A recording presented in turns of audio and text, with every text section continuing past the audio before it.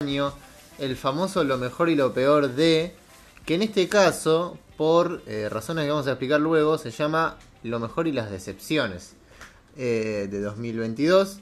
Lo podemos decir ahora, la realidad es que teníamos algunas películas que nos parecieron pésimas para hablar y que tranquilamente podrían haber terminado en esa categoría de lo peor, como por ejemplo hemos hablado en otras ediciones de The Last Duel eh, y bueno, varias películas más. Se me vino esa a la, a la cabeza. Pobre Scott, la primera que le Claro, Ridley Scott lo dice concha. Eh, pero en este caso, creo que vamos a hablar un poco acá también. Eso fue un año bastante mediocre. e eso incluye las malas. Y lo que pasó con las malas, podemos mencionar, ¿no? Algunas, eh, ya los presento. ¿eh? Eh, podemos mencionar tipo Blonde, eh, la película de los multiversos, que no quiero darle el privilegio de ser nombrada. Pero como si es buenísima esa película, ¿no viste que tiene 800 nominaciones? Bueno, por algo será. Eh, nada, son películas que ya se estrenaron hace como seis meses más o menos y ya todo el mundo dijo todo lo negativo que había que, que decir sobre ello. Entonces ya está. Por eso estamos acá en lo mejor y las decepciones y no las peores. Me encuentro con Citric a mi lado. Citric, ¿cómo andas? Buenas a todos. Bueno, veremos qué, qué nos depara este, este episodio extraño que tenemos, pero eh, hay que ver. Sí, fue un, fue, un, fue un episodio difícil de pensar, la verdad. Sí. Creo que la Eh. primera vez que hacemos el al año siguiente el del año pasado, ¿no? Sí, porque por lo general filmó. Lucas, ¿cómo andás? ¿Cómo no el- hay mundial, ¿no? Claro, acá hubo un factor importante, fue ser campeón del mundo. Eh, Ya estoy para decirle, decir- dejar de decirle la escaloneta, la escaloneta. y parece que no se va a detener. La Entonces, escaloneta. eh, claro, bueno, fue el mundial, fue Avatar 2, ¿no? Que salió la última semana. No podíamos hacer el episodio de fin de año con Avatar 2. Eh, así que estamos acá. Estamos ya casi a más de la mitad de enero. Eh, es un episodio que llega un poco tarde por este- estas razones. Pero acá estamos, ¿no? No podía faltar. No podía faltar hablar del año en materia cine. eh, un clásico de Cracosia. Un poco ya lo mencioné. No sé. Bueno, acá cada uno vio. Yo sé que vos, Citri, viste muchísimas películas de este más año. películas de este año que el del anterior, ¿no? ¿Seguro? 135 películas de, del año, o sea, de 2022, ¿no? De Pero te lo 2023. pusiste como objetivo. ¿Dijiste este año voy a ver muchas de este año? Sí, sí, sí, porque quería suicidarme y no sabía cómo hacerlo y quería ver si las películas de ver muchas películas me, me ayudaba a eso. ¿no? Es terrible, son y- muchísimos para ser. Son, es como más latón de los partidos Es mundiales. un chiste de, de- Alguna vez escribí este chiste y me da cosa ponerlo en algún lugar porque me da un poco de vergüenza, pero internamente digo, che, no es tan malo. Eh, de una persona que le dice a la otra, eh, me, eh, ¿por qué murió tal, por qué murió tu hermano? Y bueno, por la maratón de Boston. Y el otro dice, ¿pero qué? Estaba ahí, pasaba por ahí, estaba corriendo. Dice, no, no, puso muchos capítulos de Boston Legal y terminó muriendo. Y, y no lo lograste. Además. Y o sea, además de ver 130 la películas, no te Boston- mataste. La, la maratón de Boston Legal lo hubiera pasado mucho mejor, Sí. hubiera aprendido, ya sería abogado directamente. Y con esto, la verdad, que no aprendí nada. O sea, son 135 películas de las que destaco 20. 20, sí. Y, Pero- y pero- las 20 no que- son. Pero que me llevo. Eso es una barbaridad. Pero que me llevo- 135. ¿Cómo, ¿Cuál era el proceso para elegirlas? ¿Agarrabas tipo eh, Letterbox o algo y ponías 20, 22 y elegías por Y yo tapa? cuando- O sea, sé Había- que, sé que viste muchas de género, ¿no? Por ejemplo. Había, por ejemplo, quería llegar a 50 de terror. Como porque a veces uno hace un top 10 de terror del año y es medio mentiroso porque sí, haces el top 10, pero viste 15. Sí. Entonces como es medio ladri, ¿no? Eh, me- no, no es que es ladri, sino que Sí, sí, es. eh, no sé si alcanza, no es un premio. No, no, son, no es tan valorable estar dentro del top 10 y son 15 las. Exacto. Eh, entonces, bueno, poder llevarme un panorama, viste, deducir algún par de cosas, pero pensé que me iba a llevar más. Por lo general, cuando uno hace este tipo de cosas, es como que decís, ah, bueno, va por acá. Yo creo que sé más o menos por dónde ahora, capaz que lo empezamos a hablar, pero eh, va por la ruta, la ruta difícil. La ruta de la muerte. Sí, yo, bueno, yo más o menos hago también lo mismo, trato de ver mínimo, mínimo. Me pongo la meta siempre de cada año ver 100 de ese año. Ah, mirá, no sabía eso. Eh, y ya lo vengo cumpliendo hace, sí, 4 o 5 años, o sea, bastante. Y me llama la atención porque 135, o sea, ya a mí este año me costó ver 100, tipo decir, bueno, hay 100 películas que yo sé que alguna va a ser una garompa, pero al menos puede ser interesante de ver como para llegar a ese número. Y yo llegué muy rascando acá. Está bien que nosotros también lo que pasa Aparte hay que tener en cuenta que cuando se habla de las películas del año, por ejemplo. son eh, 20. ¿Cuántos son? 20. Eso te iba a decir, serán 20. 30, O sea, una locura. Puede ser que haya 50, pero Sí. son películas que después a fin de año uno no las no ve que los otros están hablando. O sea, con lo que se quedan los otros, ponerle que hayan visto 50 son con 20. Y después hay otras 30 que quedaron ahí, que son la película de la semana, por ejemplo. Como salió este- esta película en Torrent, bueno, la bajamos, la vemos, la charlamos una semana en Twitter y se descarta.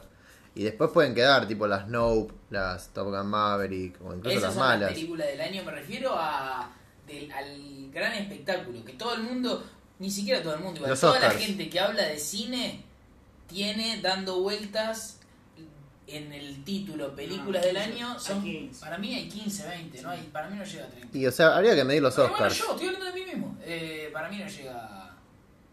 No llega a 30 ni en pedo. ¿no? ¿Cuántas películas están en los Oscars? Que vos decís, no, ya sé, no, no las nominadas Igual a hay mejor películas película. que están dentro del tópico película del año que no están en los Oscars para mí. ¿eh? Hay Bueno, sí, películas no, obvio. No, pero eh, Black Panther. Claro. Claro, sí. como la película. Tampoco se habló tanto, pero ponele. Es una No, pero película la que tenés, vos sabés tenés. que es del año. eh, y qué sé yo. Inclusive te entran películas que capaz no están en los Oscars, que es este año se estrena la de Loki con Thor. Y bueno, entra, en- fue el de este año. Sí. Y la gente la tiene dando vuelta como esa película. de A mí, a mí lo que llama la atención además es llegar a ese número sin ver esas películas, porque siento que si viésemos esas películas, no por una cuestión de... A mí no me gustan, corta, pero si viésemos todas las películas de Marvel... Sí, que no te gustan. No, bueno, perdón. Pero si, no- si viésemos todas las películas de Marvel, incluso veríamos muchísimas más. Bueno, ¿cuál será el número de Marvel? ¿Cuántas películas anuales sacará? ¿Una por mes? No. No, mucho. No, no. Marvel tiene cuatro por año ahora. Sí. Pasa que lo, lo que pasa ahora con todas esas franquicias tipo Star Wars y Marvel es que empezaron a hacer el mundo series. Entonces lo que Claro, pasa ahora es... atención a The Mandalorian. Claro, entonces ahora es película de Marvel enero, eh, serie de Star Wars febrero, película Ah. de Star Wars... Sí, Es sí, como calendario así. de, de interno de ellos es... Sí. Pero bueno, Lucas, por suerte no te sometes a eso vos. No, eh, no. no. Acusaría no tener tiempo, pero en realidad tampoco es que no elijo. Yo me doy mucho con videojuegos, o sea, yo juego mucho videojuegos, juego mucho videojuegos. Me reparto entre el cine y los videojuegos, pero no, no vi 100 películas de T2022. Pero por ejemplo, vos que no viste tantas, ¿qué te pareció lo, lo que viste, digamos? Porque Eh, acá lo que, antes de que hables, el, conse- el consenso que teníamos eh, Citric y yo, eh, también en el Discord hablando, qué sé yo, pero fue un año bastante mediocre, como que no hubo nombres, no hubo una película rutilante que vos digas, en 2022 se estrenó esta bomba. Bueno, a mí me pasó varias veces durante el año de ver una película y decir, uh, esta debe ser la mejor del año, porque no había ninguna así, que vos digas, en otros años vos veías una película, ponerle a principio de año y decías, sí, esta va a ser la mejor película del año, y después veías otra película que te gustaban, pero lo tenías ahí. Pero, por ejemplo, ahora con la de Grey, dije, esta no será la mejor película del año. Empe- empecé a repasar y agarraba Nope y después Avatar. Eh, no sé cuál es la mejor película del año. Yo creo que Y Top Gun. para mí es mejor Avatar que Top Gun. Sí, Pero es, es- es difícil de medir también, ¿no? O sea- es decir, cuál es la mejor película de las que sí, yo creo que me quedaría con Avatar. O sea, yo, yo entiendo, yo sé que yo soy el, el- la mucama de Tom Cruise y yo. No, igual yo lo. Pero, pero sí, o sea, yo si, si digo que hay una película del año, me parece que es Maverick, pues es la película que vio todo el mundo. No. Pasa que Avatar también la vio todo el mundo, pero Top Gun es como, se habló meses y no- es terrible como Top Gun no salía de cartelera. Aparte de Avatar como que se esperaba algo así poner. Sí, sí. No, Top Gun es. Se llevó todo puesto. Yo Explotó no- el mundo. eh, me sorprendió lo que pasó con esa película. Me sorprendió lo que pasó. Porque teniendo todo para. No sé si ser una más, pero una película, bueno, que le fue bien y, y la soltamos. Se agarró del público y no lo soltó, boludo. Eh, en aviones, este año todo el mundo estaba mirando Top Gun. Tipo, ibas, me pasó varias veces de viajar por laburo, ibas al baño y en las pantallitas tenían todo Top Gun. Pero es un poco arriesgado ver Top Gun en Sí, sí, sí. Porque hay aviones que se estrellan, o sea, hay, hay, hay misiones que no se cumplen. ¿eh? Ay, sí, sí. Yo estoy seguro que el. Voy a tener un número. 50% de los jugadores en el regreso de Qatar a Argentina estaban viendo Top Gun Ah, en la sí. pantallita. Bueno, Robert vino viendo Top Gun también en Qatar. Y boludo, es que invita, es rarísimo lo que pasó. Había- aparte, había tanta fanaticada de, to- de la Top Gun anterior, para mí no. No. Sí, O sea, es una película popular. La generación de nuestros viejos era Top Gun y qué sé yo. Es que Top Gun para mí era más un meme. Claro. Tipo, era, era el video de Tarantino ese No, diciendo que se la comen. Sí, Sí, o sea, era como más. O sea, era una película de los 80 que claramente tenía su. su- su- no, no sé si su seguimiento, pero su popularidad. todos saben que existe Top Gun. Exactamente. Abri- abrimos un entre paréntesis, yo lo quiero a Quentin, empezó una pelotudez ese video. No, ese Ah. video es una mierda, Es sí. una. Vos lo conocés, ¿no? Y Sí. además tampoco es Pero, no, porque- pero él no lo plantea como una lectura, ¿no? ¿Vos decís que sí? Sí, Sí. pero igual, eh, para mí ya hay un error de antemano que es que se cita como esto es lo que está diciendo Tarantino. Y Tarantino está haciendo un personaje en Bueno, película que escribió otro. Entonces, sí, lo está diciendo Tarantino actor, pero No, no es Tarantino, no- es el personaje que interpreta Tarantino dentro de la Claro, película. pero viste que después se, se dice que algo así como. eh, bueno, ¿vieron lo que dijo Tarantino de Gun? Ese él sabe. No, no, igual, el guionista en todo caso Claro. de esa película. Pero bueno, Top Gun evidentemente es una de las películas del año. Si quieren podemos explicar un poco qué vamos a hacer con este episodio al, al final. Vamos a hablar de... Vamos a hablar. Vamos a charlar. Va a ser más charla eh, que... más charla que estructurado. eh, justamente por esto, no hay muchas películas de las malas, no vamos a hablar. Eh, si quieren, vamos a hacer un repaso. Blonde, Multiversos. ¿Cuál era la otra? Que era horrible. Triangle of Sadness, Triangle of Sadness. Eh, algo que pasó. algo que pasó eh, en año algo. Eh, Esquina Marín. Esquina Marín, que eso la viste vos solo en todo el La mundo. película de los techos. La película de techos. Es una película donde aparecen techos y que. Contale a Luca de qué trata no la pasa película. nada. Mira, te la vendo.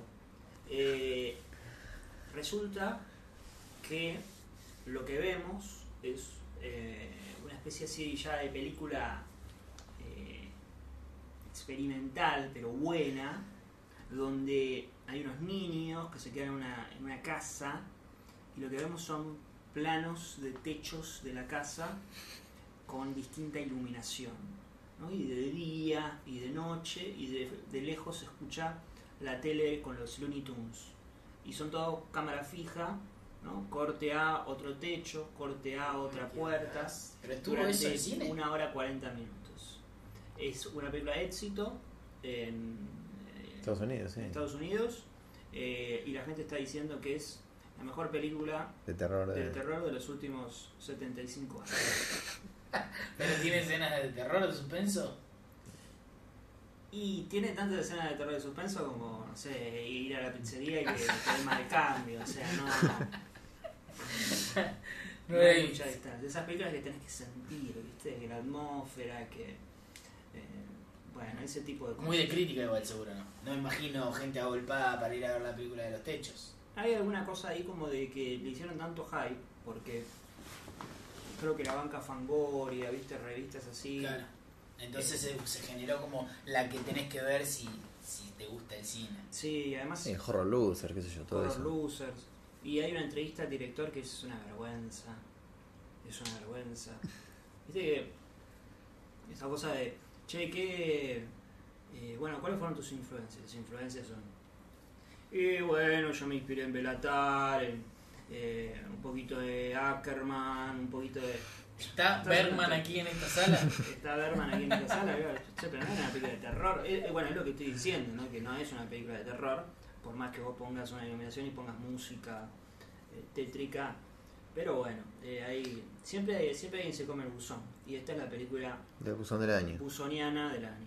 Igual es raro porque siento que en el año ya había habido películas Buzón y como que esta llegó al último minuto, ¿no? Como decir... ¿Qué es ahora sobre fin de año? Película no sé, buzoniana. en diciembre se estrenó. Que a veces dicen bresoniana. Bresoniana. Sí, esta era buzoniana.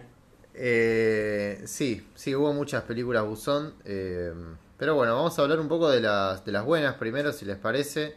Eh, la idea, dijimos, no era hablar tanto segmentado. Sí. Tenemos... La sí. película que más me sorprendió es raro igual, porque era un director. pa- Pasa que yo desvía As, porque, porque soy asustadizo. Pero a mí me sorprendió muchísimo No. Me pareció una película muy redonda. No sé, ¿hicimos episodio no? Sí, sí, sí. Eh, no, me pareció. Fue la que más me sorprendió. Iba al cine a decir, bueno, eh, no sé, me esperaba algo como. ¿Te acordás? El, año- el año pasado fue esta película que la chica tenía a su gemelo en la nuca, que Malignant. nos había gustado. Sí, la de James Wan. Bueno, iba a esperar algo así. Y una película que, que me iba a gustar, de un director que me gusta, pero me encontré más de lo que esperaba yo pareció... Reveladora. Sí, sí, total. Sí, yo creo que. O sea, yo siento que las mejores películas, con las películas con las que uno se puede quedar en el año, son las que terminan viviendo más que la, lo que uno ve en la sala, ¿no? Eh, por eso siento que Nope es como bastante. Digo, emparentada de ese sentimiento. Siento que es una película que. Hemos hecho episodio, la hablamos, ya no vamos a hablar de Nope ahora porque tiene el episodio para escucharlo, pero me parece que ese es como el, a lo, que apunta una gran, gran película que puede resaltar en el resto del año. Por eso, acá tenemos tres películas, ya vemos cómo las vamos a ir hablando. Podemos empezar, si quieren, por la más popular, ¿no? Que es eh, Top Gun. Eh, acá, digo, a todos nos gusta Tom Cruise, lo bancamos mucho. No lo bancamos no solo con la faceta del actor, sino como productor, ¿no? Eh, toda la saga de Misión Imposible. y también yo sé que es una cuestión por fuera de las películas, pero creo que hace a su persona, que es todo el, todo el tiempo las entrevistas que da, de salvar al cine, cuando pasó la pandemia. O sea, emparentamos fantástico con Tom ¿Cuándo Cruise. empezó él con eso? ¿Cuándo agarra el... ¿La batuta? Sí, del cine... O sea, yo, Porque yo siento que él... Magnolia, Tom Cruise, era un actor. Sí, o sea, yo, yo siento que él siempre eh, como que apuntó a esto del cine Sí. hecho con manos propias. Lo que creo es que ahora se nota más porque todo lo que estaba alrededor se cayó. Y el único que queda es él y, Claro, y dos o tres más. Eh, no, o sea, ponerle que en otro contexto, no sé si diríamos como... eh, tipo, Sí, Tom Cruise. Claro, pero acá, obviamente, no es solo Tom Cruise, digo, cuando James Gray da entrevistas, eh, y después vamos a hablar, ¿no? De Ar- Armageddon Time, da entrevistas. Hay una muy buena que hizo hace poco, que está el cine de fondo. Creo que vos pasaste un video, eh, Citric, de, de él hablando. James Gray también hace eso, Scorsese también hace eso. Lo que es raro, siento, o lo que es quizás lo distintivo en Tom Cruise es que es actor, entonces Sí, sí, es como que no tiene como una doble faceta de carisma y Personaje, personaje, de actor famoso fachero sí. no envejece nunca Es eh, una combinación. claro y Jess Grey es feo No, todos, aparte uno se espera de un director totem que hable de cine o que tenga una postura sobre el cine y demás. Tom Cruise es medio así, es como...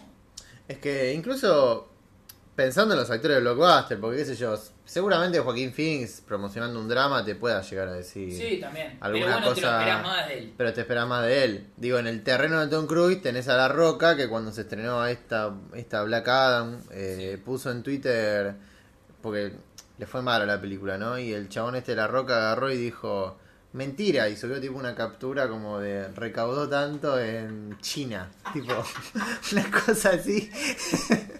Entonces en ese terreno, claramente, él está medio solo. Eh, quizás el, el otro que hacía eso en su momento, y esto es algo más de la infancia de nosotros, es... ¿Ustedes se acuerdan cuando uno veía las películas de Jackie Chan?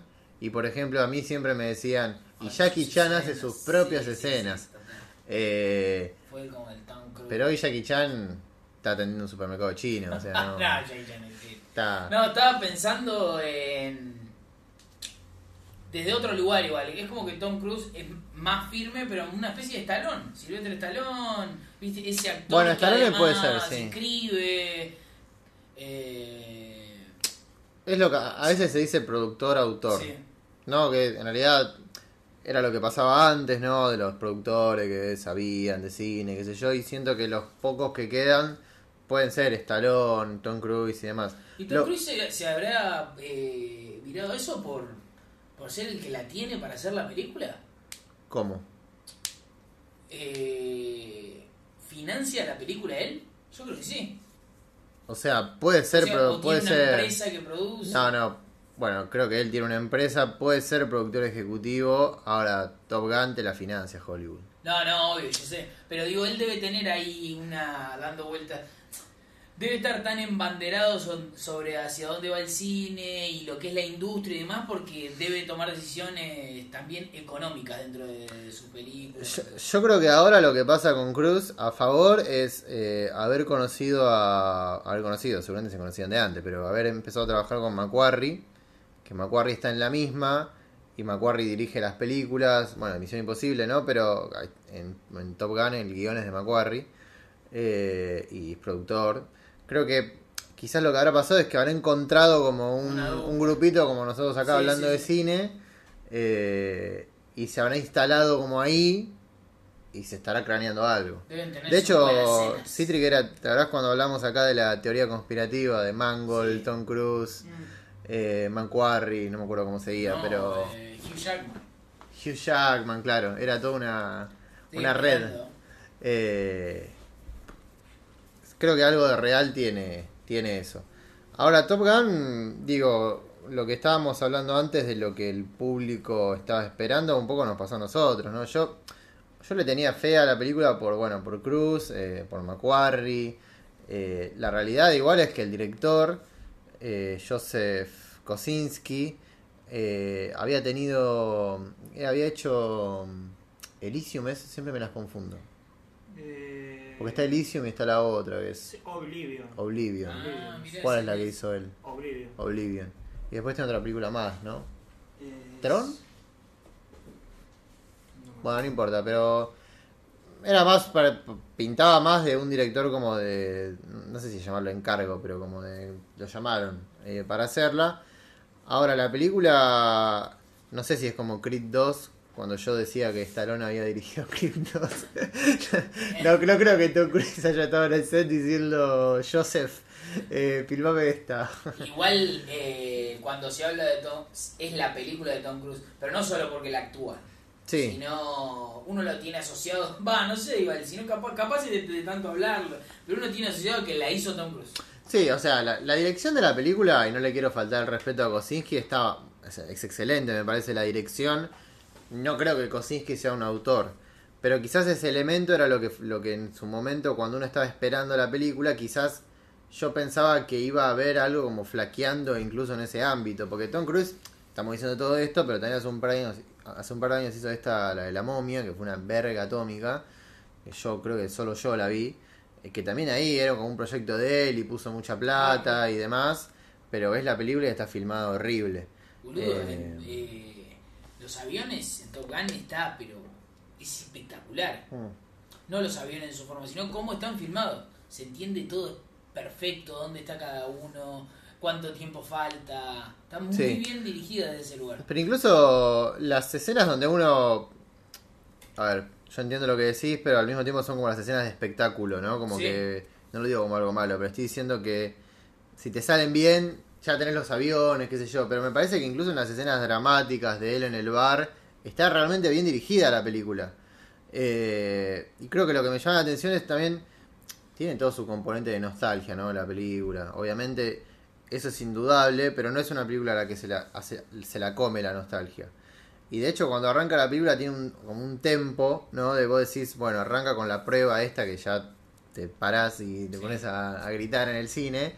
Pero después tenés toda una etapa cuando él va a verlo a Ed Harris, ¿no? Cuando le comunican toda la decisión de descontinuarlo.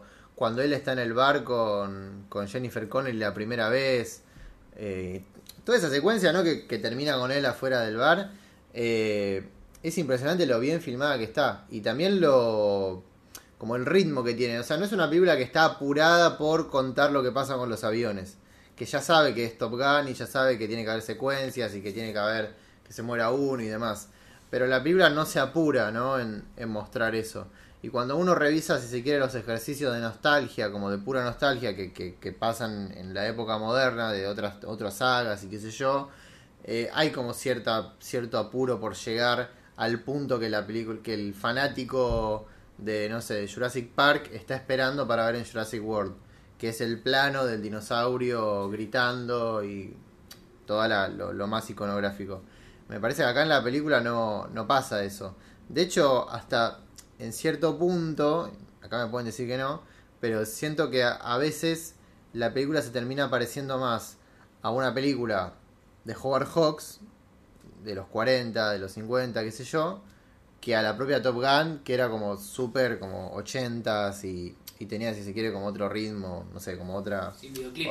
Claro, no, no le quiero faltar el respeto No. a Top Gun y a Tony Scott lo amamos, pero a mí me daba esa sensación. Yo tengo una teoría. eh, no sé si llega a calificar como teoría, ¿no? Pero bueno. eh, uno puede decir ahí que hay muchos motivos por los cuales la película funciona en el público, que es eh, como la vuelta de un cine, digo, y, y lo doble de riesgo, y la acción bien hecha. Que yo confío en que si hay una película de acción bien hecha y Sí, que sí, dentro le pusieron plata, eh, la gente va y se da cuenta. Pero también creo que hay algo de que en tiempos en los que hay como una cosa de, de como vamos a decirlo así, sobre inclusión, sobre digamos, dejar el mensaje o tratar de, de- Y esto es una película de hombres. Es una película de hombres. No estoy diciendo que es una película que no le puede gustar a una mujer. Lo que digo es que son todos, son casi todos hombres, Sí, menos hay Jennifer escena de Connelly. tipos jugando al fútbol americano en la playa. O sea, eh, y que tampoco es la Top Gun anterior. Entonces es como hay un intermedio y, y hay algo de, de como de che, cine de hombre, ¿no? ¿Viste? Che, ¿no? Eh, como medio ahí de, de "Ah, al Sí. fin, al fin, nos mataron, de, nos tuvimos que fumar, eh". ¿no? Hay un poco de eso. ¿no? Sí. Yo no estoy diciendo ni que este, este sea bueno o malo, no estoy jugando eso, pero digo que hay un poco de, bueno, vamos a ver esta película que es Creo acción, que- un palo de, de chabones que agarran unos aviones y empiezan a dar vuelta y se disparan, qué sé yo, y listo, y otra cosa. 100% coincido. Se vio de esa manera. La película fue. Se agarró. de- es medio la película de los pibardos, dirían. De agarrar unos tiros y acá. Y es un. Un tipo gordo en la casa diciendo: Mirá lo más salió Tom Cruise. Es. es eh, medio que fue. Y, y la película lo sabe también. La película para mí lo sabe. Y por eso tiene esas escenas de la playa, el fútbol americano y los anteojos. Y Tom Cruise creo que está jugando al fútbol americano en anteojos. de Una Sí, cosa, sí, en bola, todo. Sí. Eso ya estaba en el original igual, pero acá, acá creo que tiene otro condimento justamente por el contexto, me parece. Claro. Tampoco creo que sea una película... No es lo que, ya sé que no lo dijiste vos, no creo que No, sea no, una... no estoy diciendo son rugbyers, ¿eh? no estoy... No, Eh, estoy- no, no es una película machista, Tom Gunn. No, No, no. no, Eh, de hecho es una película emotiva, es una película, eh, digamos, que tiene muchos componentes co- que, que uno podría atar a como si Sí. hacemos la lectura. Ya no. Hoy no. Claro, hoy- claro, sí, sí. como... Quedó viejo. Esto ya no le. Viste que. eh, ciertos sectores estaban mucho de. Esto ya no causa gracia. Esto quedó viejo. Esto ya no se hace más. Y bueno, la película es medio una celebración. El Not Today de. De Tom Cruise. Decir, Bueno. bueno, acá hay gente que quiere ver unos buenos tiros, unos buenos aviones. Y también es como la Creo que prue- se para sobre eso un poco también. También es como la prueba empírica de todas las, todas las cosas que venimos hablando estos años, de que justamente la gente que piensa que cierto tipo de cine está muerto y que esas cosas no dan más gracia, y después el chiste más simple es el que mejor funciona. Eh, digo, en una era donde todo es la complejidad, o sea, buscar la complejidad, incluso a la comedia o a las películas de género, que creo que es donde más se sufre, porque justamente la comedia y el cine de género trató de hacer siempre como el camino más simple. Y que una película vuelva a eso, le pega un poco a la cara a justamente voy a tratar de no mencionarla mucho, pero la película de los multiversos que tiene que mostrar como todo el tiempo los memes de, de esta época y chistes tipo de referencias a 200.000 cosas de las páginas web y de la cultura popular. Eh, acá, el- uno de los mejores chistes del año, en mi opinión, es que cuando Tom Cruise eh, coge con Jennifer Connelly y llega la hija y salta por la ventana y cuando está mirando Parasita, la hija mirándolo desde la ventana y diciendo que te acaba de coger a mi mamá. Y Tom Cruise le dice, y bueno, ¿qué quiere que haga? Y eso funciona. Eh, Sí, pasaba con, con el chino, el no chino, el creo que era el, eh, la esposa japonesa El licorice. de Licorice Pizza. Creo que hay una situación de no regocijo sobre eso o de, de valoración de decir este que vuelvan los valores del viejo mundo o que estoy en contra del cierto progreso cultural, sino más bien de que bueno, está, está ahí y que es que causa o no causa gracia eh, la- lo decide la gente. Hay una hay una idea de, de intentar imponer, de como cuando alguien dice, bueno, esto ya no causa más gracia. Y capaz hay gente que le causa gracia, boludo. Capaz hay gente que le gusta Tom Cruise a los tiros. Bueno, eh, una de las eh, que ahora se estrena, una de las comedias del año, fue, ya, ya hablando ahora 2023, porque se estrena, eh, imagino Lucas la vas a ir a ver, El Método Tangalanga. Sí. Es una película que es como la vuelta a.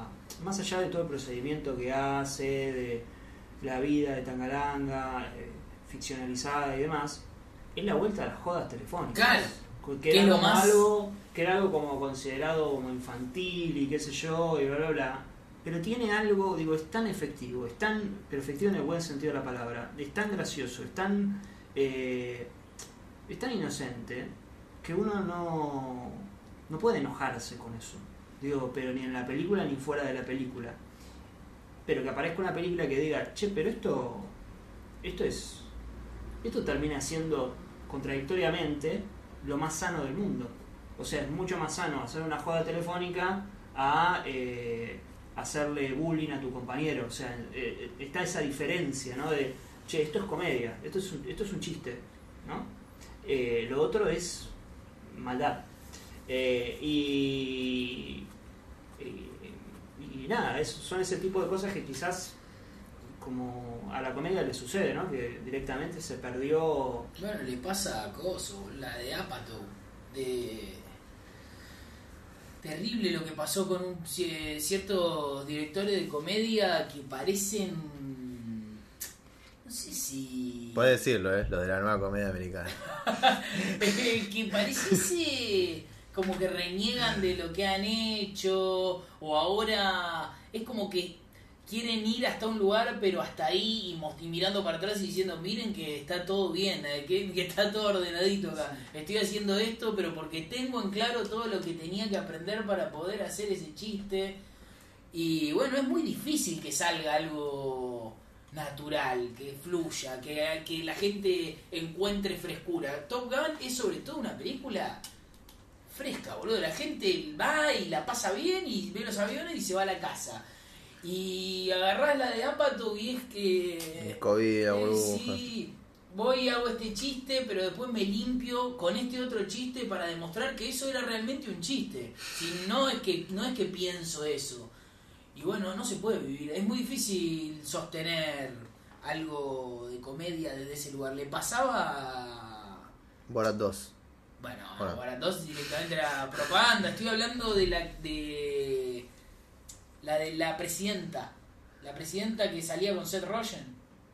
Ah, sí, eh, ¿Te acordás? Que salía en un se, avión. se me ¿cómo fue, se el- llamaba? se me fue el nombre. Eh, eh, The Big Shot. No, No, no, no, no, no. Eh, eran dos palabras. Que era el asesor de la presidenta. voy a buscar. Que tenía constantemente eso. Era un chiste zarpado y atrás un chiste que se entienda que está dentro de los cánones supuestamente actuales. Y un chiste hasta ahí y, e ir y venir, ir y venir. Y es difícil, es- para mí eh, no se siente natural, no se Bueno, siente... es un poco lo que decía Ricky Gervais de que Long shot. Eh, nunca hay que pedir disculpas por un chiste. Eh. Porque si tu intención era hacer, tener un, digo, puramente humorística, ¿por qué tener que pedir disculpas? Eso. Eh, y acá es como, bueno, hago el chiste y pido disculpas. Y es, si no te parecía, no lo hagas directamente. O hacelo y bacatela. Eh, bueno, eso sufre la comedia. Pero volviendo a Top Gun, No, sí, una cosa más igual. A mí me pasó, por ejemplo, hablando de la nueva comedia americana, ¿no? De ayer, justo ayer, a la noche vi esta Confess Fletch, que es una película que salió hace un par de meses de Greg Motola, que Greg Motola es el director de Superbad. Eh, y bueno, no es tanto de la nueva comedia americana, pero Adven- Adventureland. Eh, Sí, sí, sí. un director que tiene, tiene, ah, no sé si es un gran director, pero tiene algunas películas que están bastante bien. Y Superbad creo que es como la, junto a Virgen a los 40, ¿no? Es como una de las películas de la nueva come- comedia americana. Y a mí me pasaba con esta película que, que yo estaba viendo, que trata sobre, nada, un detective medio periodista que es eh, John Hamm, que está como que lo acusan de un asesinato y él tiene que investigar, pero es todo comedia.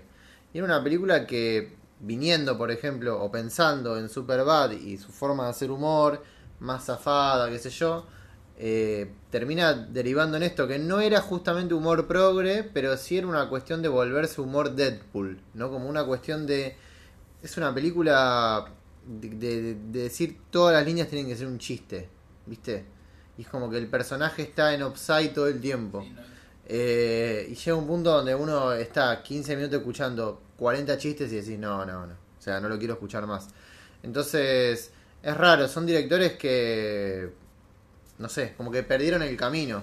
Y los que los más graves son, bueno, Apatow ¿Sabes a se lo fue. que se termina pareciendo? Hubo un momento en 2019 por ahí que uno iba a ver una un teatro de revista Mar del Plata y los chistes eran del, eran el chiste más zafado del mundo de decir eh, que un chiste totalmente misógino de una mujer que es lo mejor que tiene una mujer y un chiste zarpadísimo y le, el padre de el hijo de Carmen Barbieri le decía al padre no no digas eso papá ya cambiaron las cosas atrasás papá entonces jugaba constantemente entre que se zarpaba y la gente se reía o sea se quería quedar con la risa de la gente pero se quería también también quedar con la aprobación moral de la gente es decir oh lo está haciendo para que nos riamos pero nosotros entendemos que eso está mal y él también entiende que eso está mal y eso no se puede sostener porque no, es, no, no funciona de esa manera para mí. ¿no? Hay algo ahí que... Hacer lo que tengas que hacer, flaco. Hacer lo que tengas que hacer. O sea, no pidas permiso. Claro. Eh, a mí, a- volviendo a lo del cine de hombres, ¿no? Que habías mencionado con Top Gun. A mí me pasa que inclusive siento que es un concepto que se deformó. O sea, como todo se deformó, ¿no? En, en- en los últimos tiempos. Pienso que, por ejemplo, hablábamos a veces de cuál era el actor favorito de un empresario de una multinacional. Era Denzel Washington. ¿Y qué hace Denzel Washington? Y Denzel Washington hace película... Mete un drama así para ganar el Oscar de vez en cuando, pero está en Equalizer, ¿no? Y como que a esas se le llama, viste, como cine de cine de verdad, cine de hombre, tipo, bueno, Denzel Sí. pegando un par de tiros.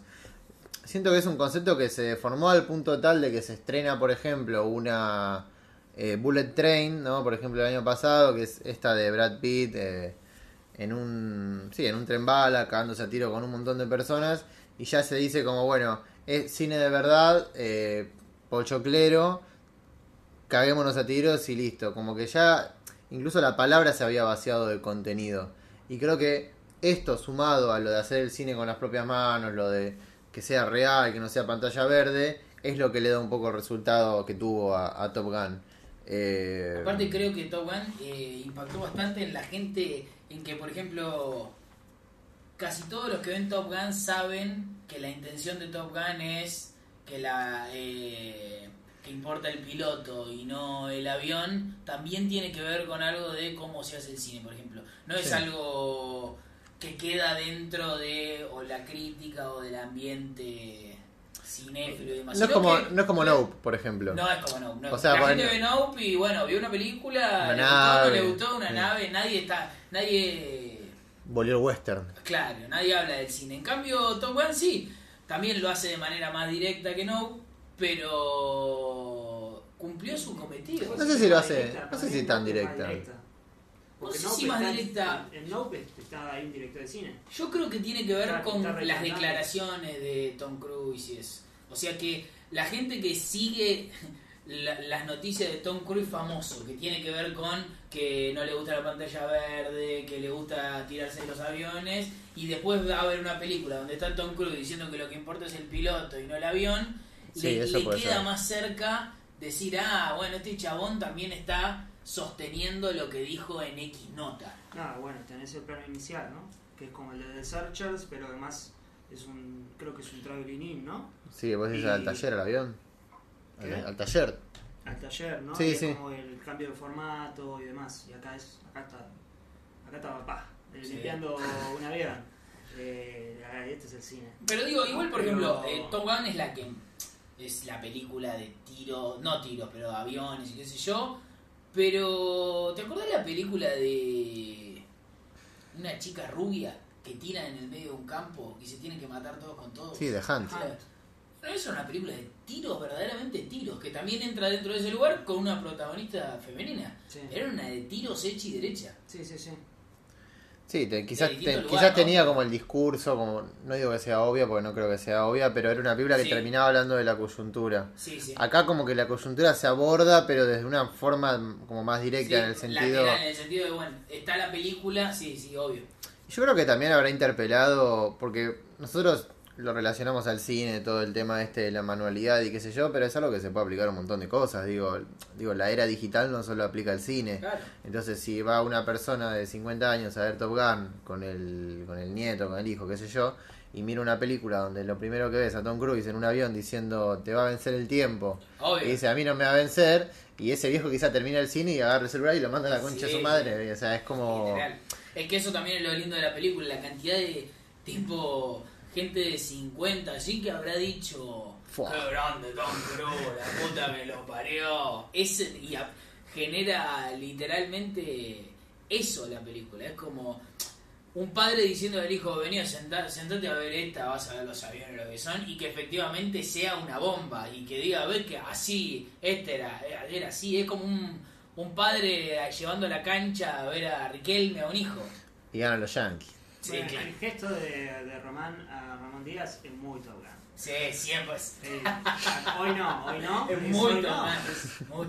Eh, Una cosa más, estoy podrido de que cuando salen estas películas eh, se diga. Pero dicen que está bien el ejército de Estados Unidos. Eso, me tiene la, o sea, me tienen podrido, viste, gracioso como es que. que sale en un momento en el que eh, lo progre pegarle a Rusia. Claro. O sea, es gracioso eso, porque es como, che, pero... ¿Cómo- eh, cómo lo hacemos si es me- en el ejército? Me pongo en, de- me pongo en defensa de, eh, de, de Rusia. Che, pero mira que Rusia con Ucrania y... O sea, no sé si es muy... Es como que quedó ahí medio... Incómodo para todos. Sí, bueno, también O sea, incómodo para que se pone en ese lugar, Sí, Ah, para hay, mí algo, no, Sí, sí, sí. Hay algo que me rompió mucho las bolas de la que se habló de la película fue esta cuestión del, del enemigo. Vieron que, Oh, vieron que algunos decían Pero que pasa con Avatar también, que es... bueno, pero ponerle que en Avatar se nota un poco más que el, que el enemigo, o sea, que son soldados yankees. A lo que voy es que en, en Maverick vos lo que lo que se decía era que la película era muy cagona y muy tibia por decir que por no decir quién era el enemigo. Porque vieron que en la película dicen que el enemigo es un enemigo como de la o sea, que está como peleando con la OTAN, que Yo creo que cosa tiene que ver con, con el género. Es hasta una exageración del género. Decir, no importa a nadie quién es. No, no, para mí va más del lado de la lectura de, de la frase tipo el enemigo es legión, ¿no? O sea, como decir que no hay un enemigo, o sea, quizás lo que en los 80 era por la Guerra Fría y qué sé yo, en Estados Unidos decir, bueno, el enemigo es, ponemos, eh, o por ejemplo, en, me pasó la otra vez viendo Mentiras Verdaderas, que el enemigo son unos árabes que están por ahí. Que- o sea, yo lo pienso más por ese lado, como diciendo, bueno, sale una película en 2022 que toma esas películas de acción de los 80 y 90 y te está diciendo que el enemigo ya no es algo, o sea, no, no, no- va a ser ni siquiera algo en específico. Eh, es algo como más global, si se quiere. Y ahí de nuevo la lectura contra la tecnología, No, contra... Ya hay para, para. No, porque no es el enemigo de la película. Claro. No es el No, enemigo no, de claro, la además, película. sí. No, Eso para mí el claro, enemigo, no es el el- enemigo de la película. No, el enemigo de la película Es no el está- tiempo. La gente que está dentro de esa base, para mí es una excusa. Es como. Nada, es, es como que le hubiesen puesto los malos, pero Sí, los sí, sí. malos medio a, a modo de título. A la película no le importa quién está ahí. Nada, y ni a, a la película tampoco. Para mí, a la película tampoco le importa mucho el ejército norteamericano. No, es sí. una película de personajes, son unos personajes, hijos, padres, tecnología. A los aviones le pueden importar, pero. No, es que eh, lo que. Digamos, en, en todo caso, eh, contra lo que lucha la película es contra determinada eh, mentalidad que quiere limpiar. Digamos, uno puede, puede hacerlo un poco más eh, amplio, el famoso, bueno, limpio a estos tipos y ahora pongo máquinas, ponerle, ¿no? Que sería Claro. como en. Terminator, ¿no? qué sé yo. En Terminator. Eh, bueno, en Top Gun está esto, ¿no? De la lógica de quienes están arriba que piensan que vos podés, eh, digamos, eh, llegar a determinados límites o no. Es eso. El, Sí, la- el enemigo de la película se parece más al enemigo de. ¿Cómo se llamaba la película que iban despidiendo gente up in the air? Mm, Que Ah, a sí. los rusos, sí, boludo. claro. De hecho, el- en la escena final, ¿a quién mira? O sea, Tom Cruise lo mira a un general de los Estados Unidos, no lo mira a un ruso para Obvio. decirle, y viste, ¿qué, qué, qué me tenés para decir? O sea, claramente, es gracioso porque los que dicen que la película es pro-americana, qué sé yo, no terminan, no terminan viendo que el que queda mal pelado al final de la película es el general del ejército. Y los que están ahí como haciendo lo que pueden y salvándose en la misión y rescatándose los unos a los otros son los soldados. Pasa que hay una cosa de que eh, eso nunca se va a entender porque ya directamente se ve a un soldado y se piensa, por más que logre cumplir una misión, se ve como, no, che, pero mató El gente, ejército. pero el ejército, pero la guerra. Y bueno, muchacho, la guerra existe. ¿Qué vamos a, qué vamos a hacer? O sea, Nah, para ponerse a discutir la existencia de las fuerzas armadas del mundo. o sea, eh, existe desde el eh, año cero. O sea, que no... Imagine. Claro. Eh, Es que, o sea, es la guerra existe y el país más poderoso del mundo es Estados Unidos y que el cine más mainstream y popular y el que más se hace en todo el mundo es el de Estados Unidos. Entonces es como una combinación que vos decís. O sea, si pasase eso con Rusia, o sea, si viviésemos en un mundo donde el cine de Hollywood estuviese en Rusia, se estaría diciendo lo mismo de Rusia Claro, que lo que se dice mismo. Estados Unidos. No, lo que pasa es que si sale una película rusa, que debe haber un montón, en contra de Estados Unidos, o sea, una película donde vemos a los rusos luchando contra Estados No, Unidos y muestran su ganando, verdad. ahí es, claro, esta película muestra la otra cara, esto es bueno. Che, pero la, la guerra, ¿eh? Sí, sí. Están peleando, y mirá que están peleando por porciones, por eh, petróleo, por territorio, o sea, no, no es que están peleando porque, eh, che, a ver que es un jueguito. Pero bueno. Bueno, también es lo que pasa ahora fuera del cine, ¿no? Pero es lo de adoptar al presidente de Ucrania para que salga en todas las premiaciones a hablar diciendo, hola, yo soy el bueno, Sí, eh, sálvenme de Rusia. Como que esa, ese tipo de mentalidad. Eh, pero, pero bueno, pero a mí lo que me llama la atención es que, por ejemplo, la gente que ve Ford vs Ferrari y ve lo mismo de... Porque vi- vieron, esto ya se habló, ¿no? De que el final de Ford vs Ferrari es muy parecido al de Maverick porque está el piloto mirando como al productor, dueño en el caso de Ford vs Ferrari, como diciendo, bueno, te gané yo. Pero, me, llama- por ejemplo, ahí no se dice eso, eh, lo, del, lo del general. O sea, en Ford. No, en Ford Ford- vs Ferrari- alcanza eso. En cambio, en Top Gun no alcanza. Como que tendría que haber un cine denuncia en el medio, ¿no? Porque se está leyendo linealmente y se sí. toma la guerra como guerra. Claro, En cambio, Ford Ferrari se toma el Los. Como una competencia, digamos. claro, como un o sea, no- partido. Sí. Sí. Bueno, y ahora terminando de hablar de Top Gun, vamos eh, con quizás el espectro opuesto, ¿no? Me parece que las dos películas que tenemos para hablar eh, en esta sección de lo mejor son quizás de menor presupuesto, eh, o quizás ni tanto, porque creo que White Noise hay un poco de. un, poquito de billetes habrá gastado, ¿no? El amigo Baumbach para, para hacer esta película. Una película creo que ustedes la, la, pueden llegar a definir mejor, pero yo siento que es como de, y no me entiendan mal, de maduración. ¿no? Como de apuntar a otra cosa, como si se quiere más, más grande, tanto en el... No estoy diciendo que es una boluda de las otras películas de Baumbach, pero sí como que esta película tiene como... Es otra cosa eh, de lo que venía, lo que solía hacer y de una carrera que ya tiene más de 20 años, 30 años ya debe tener Baumbach. Eh, Sí, eh, me parece que todos los que se sentaron a verla se sorprendieron. O sea, los que se sentaron de pedo se sorprendieron porque se encontraron una película rara, por decirlo de alguna manera, pero inclusive los que dijeron, uh, voy a ver la nueva de este que es el mismo que hizo esto otro y qué sé yo, a mí me pasó, dije, mirá qué película... Porque Extraña, yo ¿no? lo recontra banco a él. Me encanta lo que hace Van Bauch. Y me sorprendió muchísimo. Me sorprendió para bien, pero me sorprendió. Eh, a mí me gustó mucho la película. Me gustó muchísimo.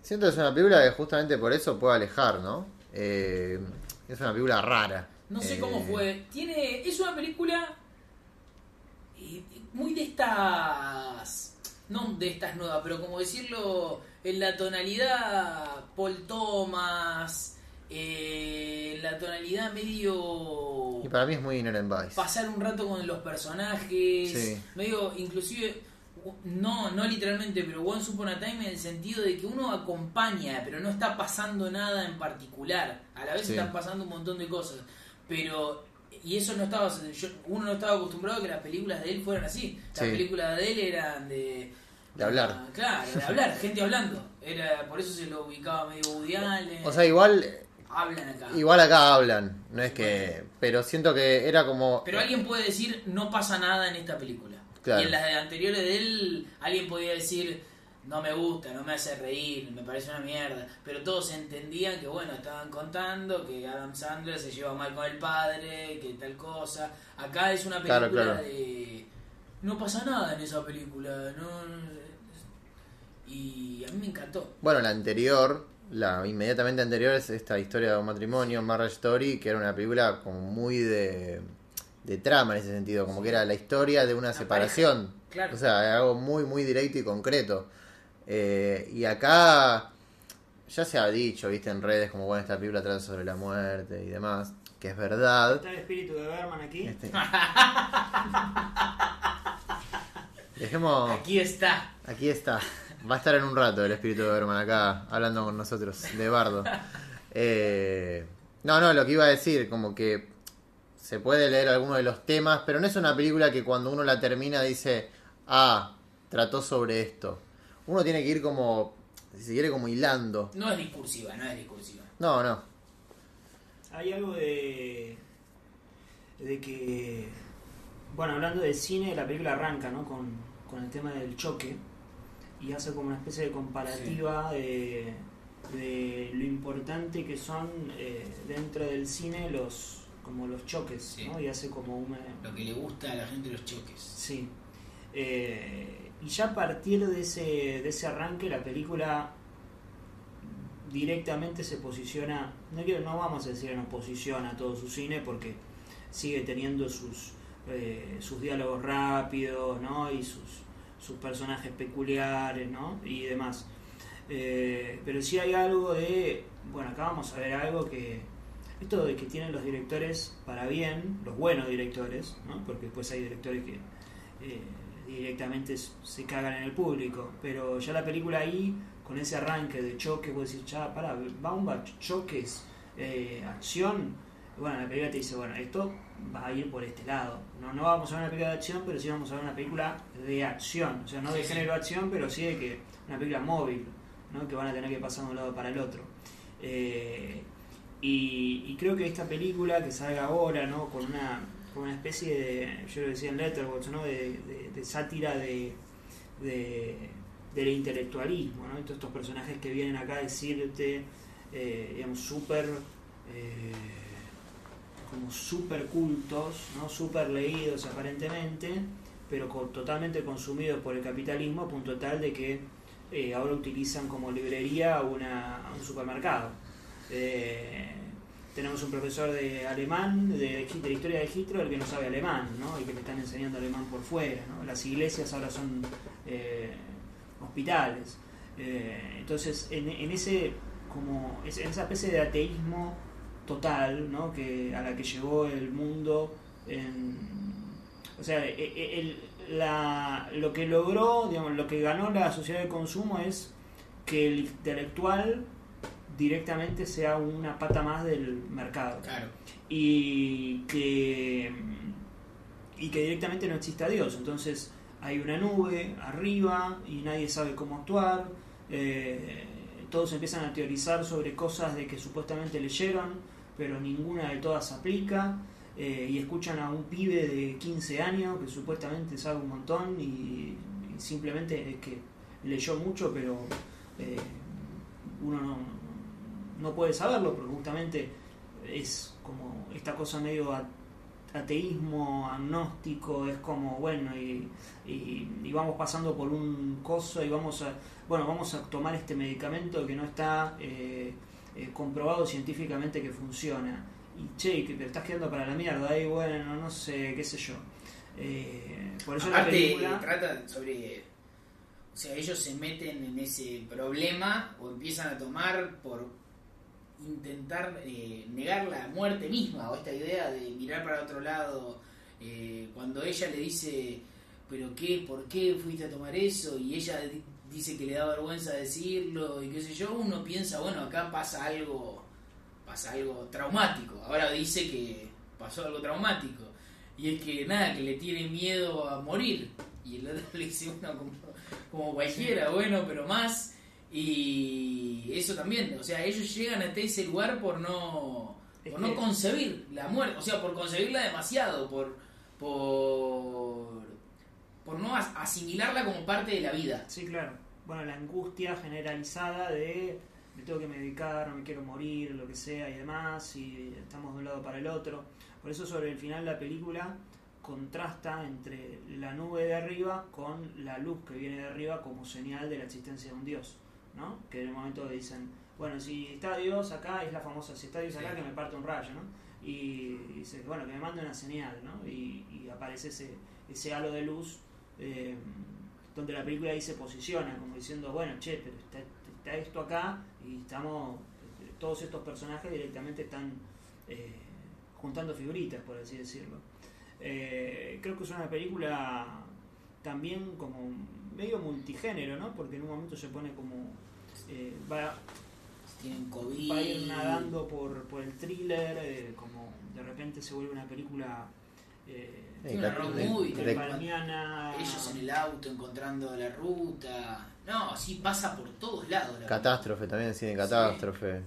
porque eh, en sí, digamos, lo que uno entiende de la película, que es eh, un, un- un mundo completamente explotado, o sea, eh, donde es todo caótico, donde vas caminando eh, por el parque y aparecen personas por Un todos lados. sobreestímulo constante. Es exactamente, ¿no? Es como, bueno, acá tienen que estar, ¿no? esto no solamente puede estar sostenido desde eh, el mundo en caos, literalmente, sino también desde la multiplicidad de géneros, que obviamente él lo maneja muy bien y, y- y dirige, tiene una escena de terror que es tremenda, la del sueño es Sí. buenísima. Uy, sí. Eh, Uh, esa escena es terrible. Es Yo me acordé de El Rancho Spam. sí. Eh, pero de mucho terror, ¿eh? Sí, sí, de sí. nivel. Estaba para pararme a prender la luz yo con lo que soy. Me dio mucho que esa escena. Eh, entonces, la, que muchos géneros habiten en esa, en esa película tiene sentido con, con este caos que tiene la, es casi como crítico en algún punto el hecho de que tengan que pasar por tantos eh, eh, sobreestímulos de manera tan, tan visceral. Eh, y la película te va haciendo pasar por ahí y en un momento, digamos, entras en esa locura eh, que tienen los personajes. Aparte tiene eso de que como que todo ese mundo caótico está generado justamente por eso, ¿no? Por, por ese white noise de que está siempre ahí la, la finitud. Como que lo único que no se puede asimilar dentro de un mundo que todo lo asimila, que todo lo entiende, que todo es parte, es, bueno, que, que existe un fin. En la película no, en la película no es- explican lo que era el white noise o En un momento lo explican, creo. Ok. En un momento lo que es que explican. el ruido blanco, ¿no? Como el del televisor, Sí. como de y también como el digo, no sé, uno se queda en silencio acá, como el, Al, sí, el ambiente, sí. claro, el, el sonido ambiente. Dice algo como que. No me acuerdo, creo que lo dice él. Que el miedo a la muerte es un white noise, como que Ah, está mira, siempre no ahí dando vueltas. A mí me hizo pensar en. Es una película, tampoco me quiero detener mucho, pero me hizo pensar en The Happening. Eh, por el sentido de tomar como un aproximamiento como paródico. Lo que pasaba con The Happening era que no, no te lo decía en ningún momento, por eso se le pega mucho, en fin, eso no quiero volver a decirlo, pero como que veo que es una película que no fue, o sea, porque no fue del todo muy bien recibida White Noise. eh, incluso te lo dice como más en la cara, que, que es una parodia y demás. Pero se sentía eso, como que era una película que iba de frente y sin miedo como a a naturalizar como la extrañeza y la rareza de los personajes, pero no en el sentido de Para, te interrumpo, no es una parodia, es una sátira. una sátira, tenés razón. A veces se me, me confunden las palabras. Eh, no, no en el sentido tipo Wes Andersoniano de enrarecer todo y quedar, viste, como... Porque lo que pasa en esas películas es que se enrarece todo, que se vuelve industrial lo enrarecido, ¿no? No, y además esas películas estipulan a estos personajes como interesantes para bien, ¿no? Como que... Sí, sí, como sí. que Sí, bueno, Cerrar. Más, más que bueno o malo es como... Awkward, ¿no? Sí, como, che, mirá que, qué copado esto, ¿no? Sí, sí, sí. Eh, claro, por eso acá uno ve a la...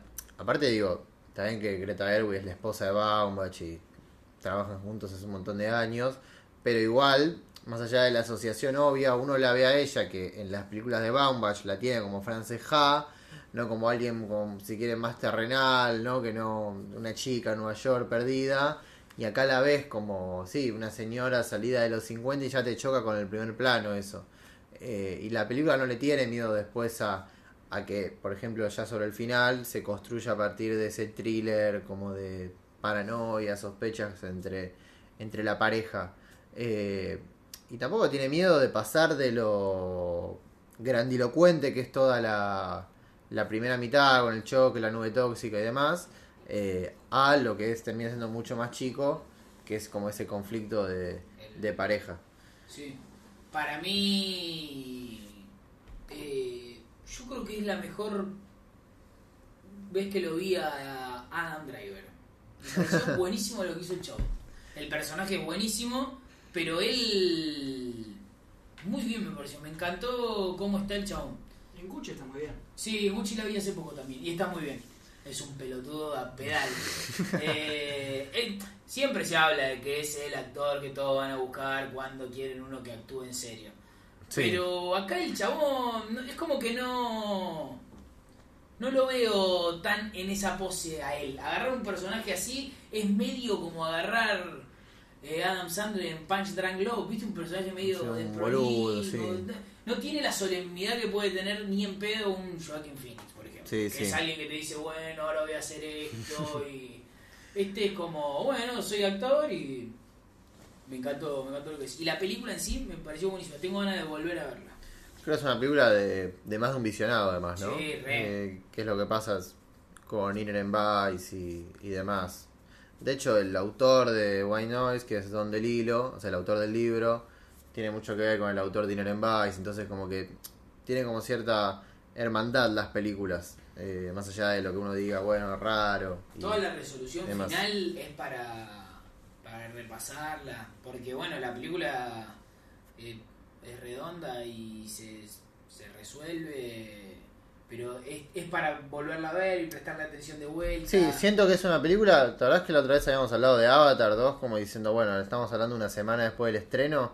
Siento que, no por las mismas razones, pero ocurre lo mismo. De Sí, decir, eh, siento que esta película se habla mejor si nos sentamos de acá un año a grabar lo mismo. Estoy 100% seguro que es una película muchísimo más redonda de lo que creo que es, porque la vi por primera vez con el impacto de che, estos personajes y, seguir por acá y seguir por allá. Y estoy seguro que si la ves dos tres veces es muchísimo más eh, redonda.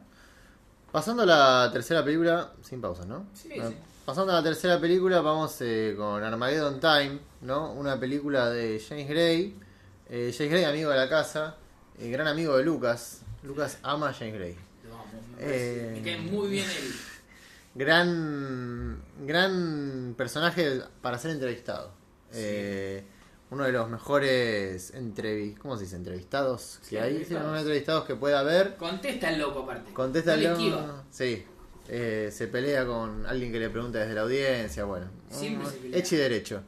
Eh, Grey estrenó una nueva película este año, ¿no? Armageddon Time.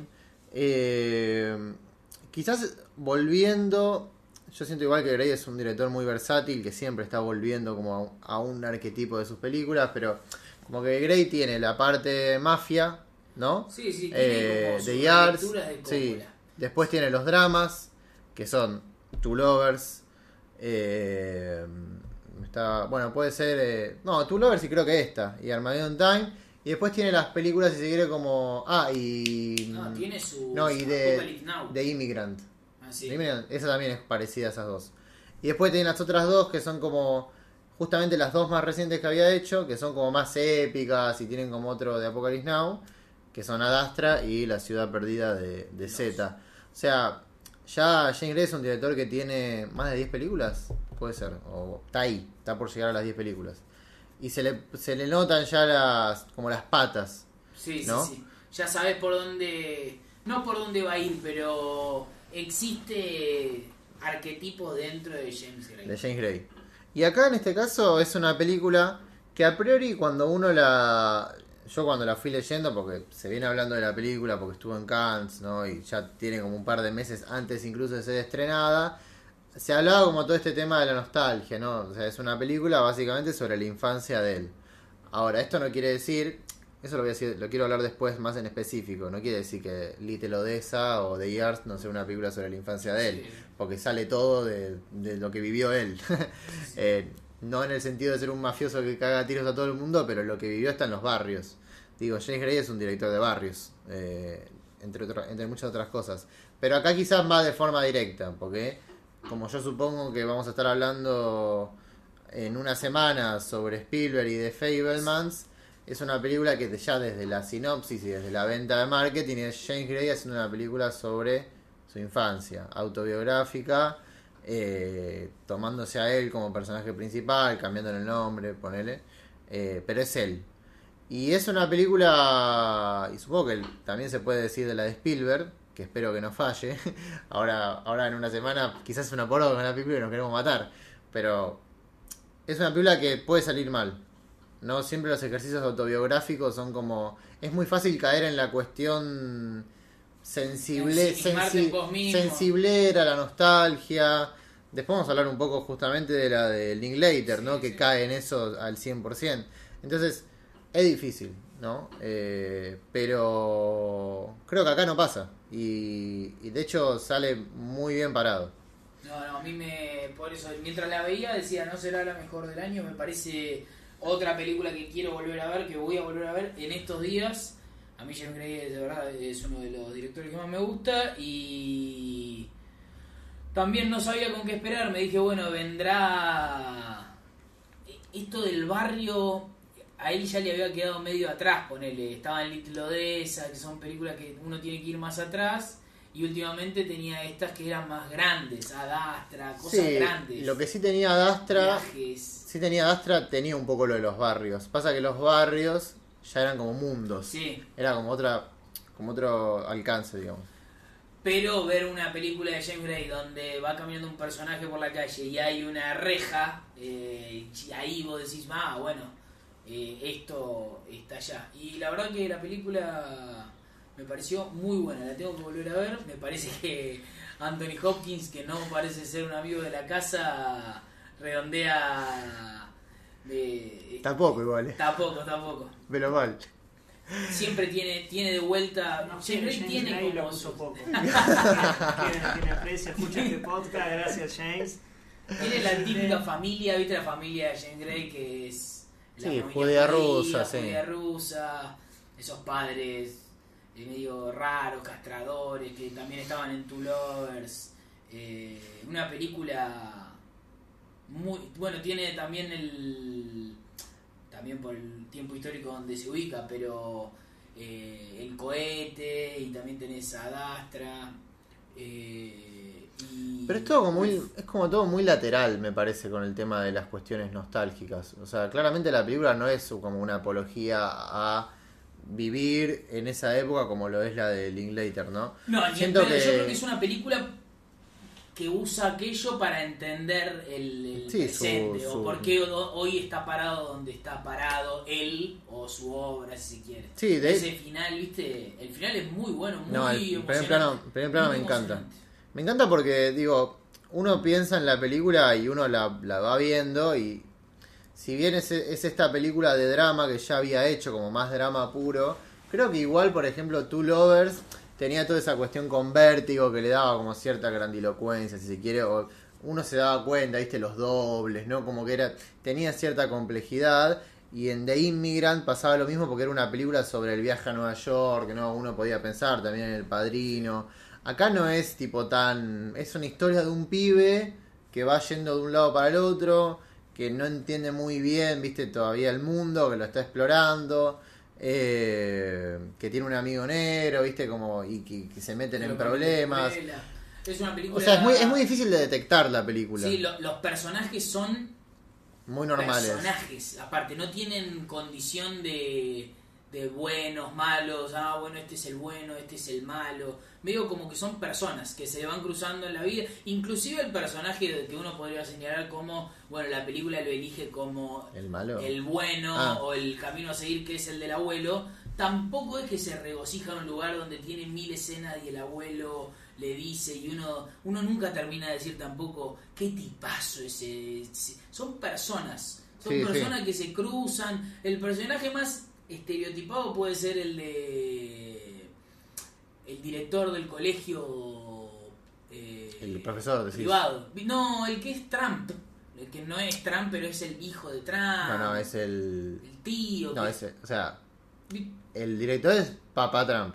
O sea, es el papá, de Donald. Bueno, papá Trump. Papá Trump ahí que tiene un par de, de discursos y esos personajes, pero uno no, inclusive el, el amigo de él, que es el que sufre, el que más sufre en la película, eh, también no termina nunca de ser, uh, pobre, qué tipazo. Es como que son todos los personajes bastante Sí, polares. se van desenvolviendo como de manera muy lo natural. que va pasando. sí. De hecho, cuando uno lo ve, por ejemplo, el, el padre, porque digo, el padre lo caga a trompadas, esa pero mal, ¿eh? O sea, obviamente, acá nuestros padres, no digo que nos habrán cagado a trompadas, pero nos habrán retado alguna vez. no, no, este Y, al- y algún chancletazo me habré comido de chico yo. Pero el padre acá lo caga a trompadas. Hace ¿eh? rato no veía una escena donde le pegaban así a un niño. aparte rompe la puerta, ¿viste? Es una escena muy de violencia, pero no incluso con eso, porque, porque es la escena más fuerte. Claro, claro, por eso, o sea, como que no es que el padre pasa a ser un hijo de mil putas, porque cuando uno ve solo por ver la cuestión de la dinámica de los personajes, te das cuenta que es una familia que hace lo que puede. Exacto, sí. Eh, y, el, y el pibe también, digo, está bien, nos cae bien, el pibe es un hinchapelotas. Ay, boludo, me cuando, pasó lo mismo. Cuando pide la comida es- china, cuando pide la comida china y la mamá le dice que no, que no, que no, y la mamá no va, no va a detenerlo, ¿viste? Y está hablando por teléfono y el, el hermano de él se pelea con el padre y el padre lo quiere a trompadas. Ya en esa dinámica te das cuenta de que no hay nada como forzado para identificar un bueno o un malo. 100%. Es una familia que se junta en fin de año, como puede ser mi familia, la familia de nosotros acá, y que tiene sus problemas. Que pasa lo que pasa. Exactamente. Sí, total, total. Muy hermana de una película de este año, del año pasado que es Fort of July. Sí. Diría que esa más aún, ¿no? Porque esa tiene como los enfrentamientos eh, de, bueno, el tipo que quiere, eh, eh, que dice, bueno, yo me voy a enfrentar, yo ya encontré la solución, lo habla con el psicólogo, yo ya encontré la solución, ya está, tengo que hacer esto, todo. tengo que hacer esto para, eh, como que se autoanaliza y después se encuentra en una situación donde eh, se está viendo un espejo, ¿no? 100%. Y, y acá en, en Armageddon Time, yo pensaba si quizás digamos, está esta vuelta al barrio y, y- y también creo que le- todas sus películas, creo que si uno hace como una especie de resumen eh, sobre qué son las películas de él y, demás, le puede servir de muy buen ejemplo a Dastra, porque a Dastra, en Adastra tenés un personaje que quiere lidiar con el tema del padre y que termina yéndose al lugar más lejos del mundo que termina siendo la casa de él. Y al mismo tiempo termina teniendo que soltarse. ¿no? Entonces es como que todos los personajes de alguna forma tienen que volver a la casa, pero a su vez tienen que soltarse de la casa, que es el final de esta película. ¿no? Eh, es de alguna forma volver, saber que, digamos, de dónde salí, digamos, cuáles son, quién es mi viejo, quién es mi vieja, qué, digamos, qué, y a ellos, que, sus antepasados, la historia del país, digamos, de alguna forma, eh, y al mismo tiempo independizarse. Sí. Eh, y es como que eso en sí resume todo el final de The Yards lo mismo, ¿no? Eh, todos Es increíble conflictos. acá el final que tiene justamente con el padre. Viste que le dice, lo va a buscar a la comisaría y le dice, no sé si le dice no me pegues, porque el pendejo encima se la rebanca, ¿no? Sí, sí. Pero le dice algo como no, que no pase lo mismo de vuelta y el padre, y ahí se encuentra con un padre que es lo que decía antes Manu, el chabón estaba haciendo lo, lo que podía y le dice, no, no, no te voy a pegar. Y ahí medio, es que es como que el, por primera vez el pibe también humaniza a su papá, que le dice, no, no sale nada, está pasando esto, lo otro. Y que a esa familia también se le muera el padre de esa familia, que era el viejo Anthony Hopkins, es como que siempre, ¿no? En Grey el padre está siempre, desde el padre en el sentido religioso hasta el padre en el sentido familiar, y, y es, es- en Ford of July lo que tiene es que la comedia, bueno, uno lo va, lo va haciendo avanzar y lo va haciendo justamente reírse, y Sí. bueno, uno asimila los personajes y lo, lo- a uno mismo dentro de una risa. Acá es asimilarlo dentro del drama mismo y son esas películas que te dejan te dejan hecho verga, pero no en el sentido de bueno, te mostré algo tan terrible que te dejé hecho verga. Bueno, incluso en la de en, Armageddon Time cuando eh, digamos, fallece el personaje de Anthony Hopkins, porque James Gray también dijo, si voy a poner a Anthony Hopkins, los oyentes, mis amigos de la Cosia Podcast, y le tengo que matar. Eh, y lo mata Anthony Hopkins, De una forma inesperada, de una aparte. forma inesperada, sí, eh, y, el, y el padre dice, eh, a mí este, esta persona me enseñó mucho a ser quien soy. Entonces vos venís de la escena en la que Anthony Hopkins le da como una especie de discurso, y decís al, al nene, es decir, lo está creando al nene y está tomando una distancia, y después ves que el padre, que eh, lo caga a palos, eh, la figura que más le enseñó es este tipo. Entonces decís, che, pero ¿cómo...? Bueno, es eso la. O sea, Terrible. convive como- todo eso. Al ser drama el género, eh, no sé, uno piensa en el padrino siempre que piensa en Grey. Y bueno, el padrino se muere Vito, pero los hijos de Vito tienen que ver con Vito. ¿no? No, dentro del universo Corleone existe un orden. Y bueno, en la vida real a veces ese orden no, no, no pasa, por más que se entienda esa estructura. Y pasa que es una familia Es como que nadie entiende bien al otro, pero todos están intentando ponerle lo mejor. Y algo que deja muy en claro la película, que a mí me gustó mucho, es la importancia de, de trazar un enemigo, o trazar el nosotros y ellos. Muy bueno eso, cuando en el reflejo del cuadro que al, al chico le gustaba pintar, que en algún punto es la propia obra de Grey, aparece el abuelo en la cama y le dice algo como te mandaste una cagada, no salió, porque encima la película termina con un error, que es no salió, pero es medio, bueno, hay que seguir, no hay que rendirse y menos contra estos these bastards, le dice el viejo, hay una hay un nosotros y ellos muy marcado, el, el- él yéndose de esa escuela, terminando, mientras el viejo ese da el discurso final y él decide irse y salir a la calle justamente. Que la calle de Grey es la No, y calle. Además están las rejas que él se acaba de salvar de, de prisión, Sí. de pedo, ¿no? Sí. Y, y es un poco, bueno, me voy a las rejas, me voy a, si voy a terminar en cana, terminaré en cana, ¿no? O sea, y, y terminaré, o bueno, eh, digamos, tomaré mi camino, ¿no? Pero... Aparte de un profundo sentido sobre el bien y el mal. O sea, el...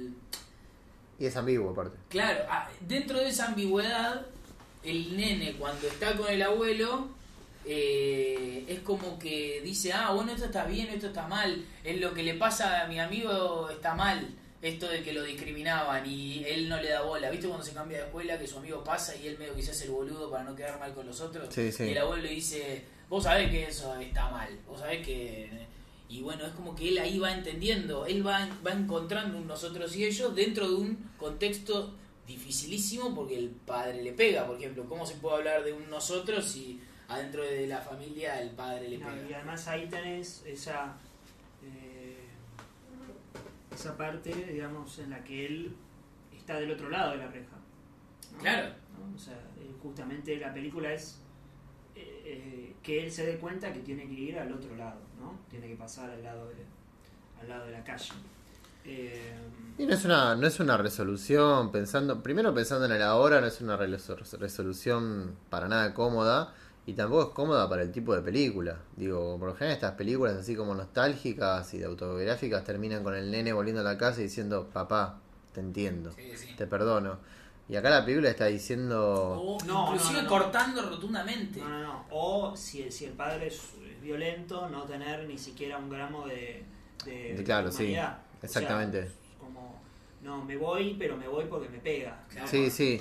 Pero acá no creo que lo que lo que Grey esté diciendo es la escuela no sirve para nada, sino que la escuela, o sea, no está diciendo él que la única escuela que sirve es la de la calle, pero lo que sí creo que está diciendo es hay más cosas que aprender que no las vas a aprender en la- ni en la mejor escuela del barrio privada donde va Donald Trump. O sea, eh, hay un hay una mitad y hay una mitad.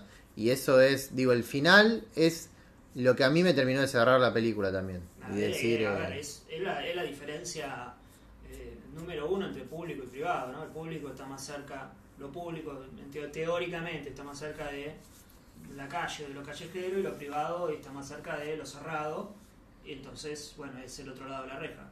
sí. Eh, también es interesante que no le dé una resolución al tema racial, ¿viste? Es como. Él se salva por una cuestión meramente racial, que la policía siempre lo. La policía, los maestros siempre le tiran a la- más al amigo que a él, inclusive él siendo más bardero y peligroso capaz que su amigo. Pero llega un momento donde es muy difícil inclusive poniéndose en el lugar del chico en la escena final donde están él y el amigo y viene a buscarlo el padre y viene el policía y le dice ya está, viene tu papá, andate. Y él con una conciencia total de que lo que va a pasar es profundamente injusto y está mal no decidir, bueno, me voy a mi casa, o sea, me salvo. Y, y tener esa conciencia eh, es una postura también de, bueno, esto pasa y tampoco soy el que lo... Escapa de mí también. Claro, Sí, escapa de mí y es, es humano hacer uso de, de mi situación de, de que, bueno, me tocó ser el que lo viene a buscar el padre, inclusive que a- además ese mismo padre es el que le pega y todo, pero es medio como que toda la película es, esto pasa, no sé, Sí. Y con, el- con respecto al tema coyuntural, o sea, si bien coincido que uno ve el nombre de Trump y es como medio como que decís, bueno, es como un nombre propio, siento que la película, y esto es algo que adelanté un poco en el, en el Patreon que había grabado con MIDI, con respecto, no sé si era de Abyss o Sick, alguno de los dos que grabamos hace poco, donde yo mencionaba Armage- Armageddon Time porque me parecía que la película, incluso abordando como lo coyuntural, que le puede llegar a interesar a James Gray, porque James Gray está todo el tiempo diciendo que Trump es un hijo de puta, lo dice en todas las entrevistas. Eh, es muy inteligente abordarlo de esta manera, porque cuando uno aparece, cuando aparece el nombre propio del abuelo de Trump y qué sé yo, y toda la familia Trump, a mí me dio un poco de cagazo. Dije, uh, se viene el momento de la semilla del mal, ¿viste? Sí. Como que el mal de Estados Unidos arrancó con el papá de Trump, que y yo que tuve la... Porque esto creo que es verdad, que él fue a la misma escuela de que los... Mira, que los Enti- entiendo que es verdad. Eh, pero digo, toda, si se quiere, toda esa deducción, ¿no? Se hace a partir de las decisiones de la calle, de mostrar los barrios, ¿no? Y, y de la resolución de la película. No apuntando al abuelo de Trump como eh, este está por dar el, el discurso de- del mal que va a venir a bajar línea con respecto a qué es lo que está bien y lo que está mal. No, además es, más Y lo, perdón, y lo mismo pasa con los negros. O sea, no me parece ser una película tampoco que hable abiertamente sobre el racismo y porque yo, el oprimido. Digo, te impacta más la mirada del chico este, que no me acuerdo el nombre ahora, del compañero de A él. propósito, la dirección de ese nene es increíble. No, sí, sí. Está increíble ese nene. Porque nunca se habla, bueno, generalmente no uno no lo tiene asociado a un director de, de niños y demás, a Grey, y es, pero No, sí, sí. Increíble lo que se la banca, boludo. Eh, yo creo que tiene que ver también lo de Trump, más que nada con un. con una forma de pensamiento, con un discurso, que con el nombre propio Trump es el mal. Es que es un contexto también, digo, la, o sea, la película eh, ocurre en pleno reganismo, ¿no? O, Sí. En pleno no, perdón, cuando está Reagan postulándose para las elecciones, que estaba eh, Jimmy Carter como presidente, pero todo lo que viene después, eh, que termina la película, es el reganismo. Sí. Y bueno, todo el tema de los republicanos y demás, y el, pap- y el pap- eh, entiendo que es el papá, el papá de Trump, que es el que aparece en el discurso, en la escuela, es, digo, un elemento más del contexto sociopolítico que tiene la película. Y además lo de, como toda película habla de su presente y bueno, encontró ese tiempo histórico que además es su infancia para hablar sobre, evidentemente James Gray no, no tiene muy buenos vaticinios para este, para este momento histórico porque bueno, lo siente un Armageddon Time. Pero no solo por los Trump, a eso me refiero. Sí, todo, sí. todo el mundo de esa película. O sea, Hasta tocó- en algún punto si vos decís, bueno, pensando en el nene y su papá, y esa relación muy complicada y mostrando al papá de Trump también hay algo de bueno es es el papá imagínate si de este papá salió este nene del papá de Trump lo que puede llegar a salir. No lo, no lo siento como lineal y, si hay un director que no siente de esa manera la relación padre-hijo eh, simplista de decir el, el famoso axioma golosito padre boludo hijo boludo eh, James Gray que le dedicó su vida a, a entender ese ese vínculo. Entonces no, no lo siento como ah claro como el papá de Trump es acá y es medio malo entonces Trump Tiene después fue sentido, malo. claro, claro. No, James Gray jamás haría eso para mí Sí, y sí, igual tampoco el abuelo de Trump es que en, en la, en la película dice hay que matar negros. No, no. O sea, tampoco dice eso. es un viejo cheto de escuela privada Sí, que quiere sí. que gane. Reagan. Bueno, vamos a... ¿Vos? Cerramos. Cerramos, vamos a lo divertido. Vamos a hablar de las decepciones del 2022. Pasando a hablar de la película eh, Armageddon Time, estábamos mencionando esto, ¿no? De la nostalgia, el buen uso de la nostalgia como marco, como contexto. Vamos a inaugurar esta sección de las decepciones del año para un director, ¿no? Que mm, nos gusta, sí, nos gusta a todos acá, que es eh, Richard Linklater. ¿no? Este año hizo una película que se llama Apolo 10 y medio, eh, donde el amigo Richard vuelve a la rotoscopía, que parece una operación del estómago, pero la rotoscopía es esa animación medio extraña, que no sé ni cómo explicarla, pero es una animación así medio rara, que es con la que hizo una de las películas favoritas de Lucas, que es eh, la de... Ways, ¿no? No, la de... Sí, Walking... Walking Way, ¿no? ¿Cómo es la de... ¿Cómo se llama? Sí, La que filosofan y todo eso? Walking Walking Life. Waking Life. Waking Eh, Life. Waking Life. Y después tiene otra que es a Scanner Dark- Darkly, ¿correcto? No. Eh, dos películas que ha hecho así con ese estilo de animación. Vuelve ahora con Apolo 10 y medio. eh, con ese estilo. Una película que trata. Voy a decir algo, para mí no trata, no trata de nada la película, pero trata sobre un pibe que crece en los 60, nostalgia, bla, bla. Lucas, como yo sé que de acá eh, sos uno de los que más les gusta, Linklater, ¿qué te pasó con la A película? mí, tengo- a mí me gusta Linklater, me gusta. Me queda en simpatía, me parece generalmente. com- no sé si decir compro, pero su personaje es sensible o sus películas sensibles, qué sé yo. Por momentos alguien puede decir que es sensiblería y demás, pero me gusta Linklater.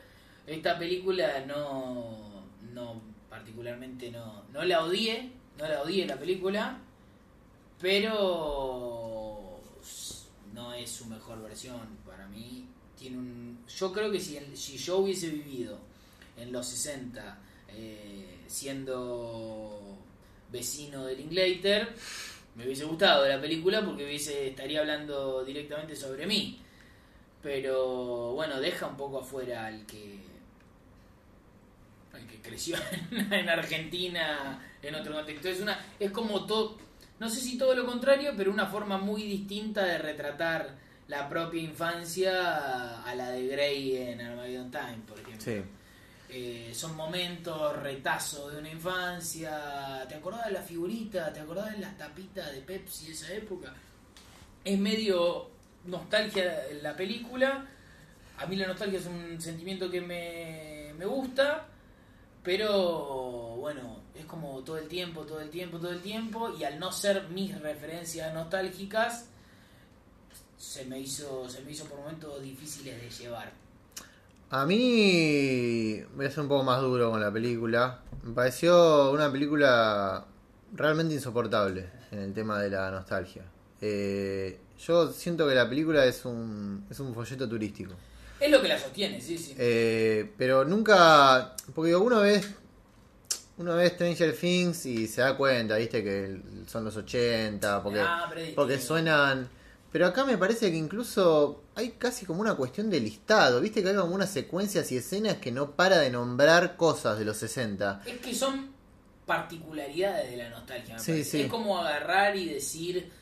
No, eh, es como que yo, hago una película de. ¿Te acordás del el Pro Evolution Soccer 3? Que el, el, el, el chino echaba a todos. El chino de árbitro echaba a todos. Redonda. Sí, y es algo que me gusta, ¿eh? Es algo que a mí me gusta hacer, pero bueno, entiendo que no, no es la mejor versión de un artista, no, no termina cayendo en esas cosas. Es que para mí lo que pasa es que vuelve todo como muy vacuo. O sea, yo, yo sinceramente siento que la película no tiene trama, no tiene personajes. O sea, los personajes Sí. son. O sea, porque ni siquiera funciona a nivel autobiográfico. Porque él construye una película sobre la nostalgia autobiográfica que tiene que ver con su infancia. Y yo en el personaje de él, o sea, el niño, no lo veo a él. No, ni pedo. O sea, y en la- no sé quién es la familia. Bien que yo ya la vi la película hace como ocho meses, pero tengo el recuerdo muy vívido de verla y decir, bueno, eh, ¿va, va a arrancar en algún momento la película? Porque yo iba ya 40, iba 40 minutos y seguían nombrando cosas de los 60. Yo la vi en dos veces, justamente por eso. Porque en un momento me di cuenta que iba a ser un, un rejunte de retazos de recuerdos de la infancia y dije, bueno, mañana, mañana seguimos. Sí. Eh, Pero tiene, esa, nada, son esa secuencia como de listado y que vuelve a todo como muy, muy vacío, me, me parece. Eh, y eso eh, siento que es muy Netflix. Eh, no, no digo que, no digo que él no tenga la culpa, lo que digo es que mm, se me asemeja mucho al tipo de película que le interesa a señor Netflix de referencias a los 80, ahora se toca un poco más los 90, como algo muy, muy vacuo y que se asemeja más a lo que hace Netflix. No digo, no estoy diciendo que Netflix le haya ordenado a Linklater hacer esto, pero digo que se termina asemejando más a eso que a lo que pueda hacer Linklater en otro tipo de películas.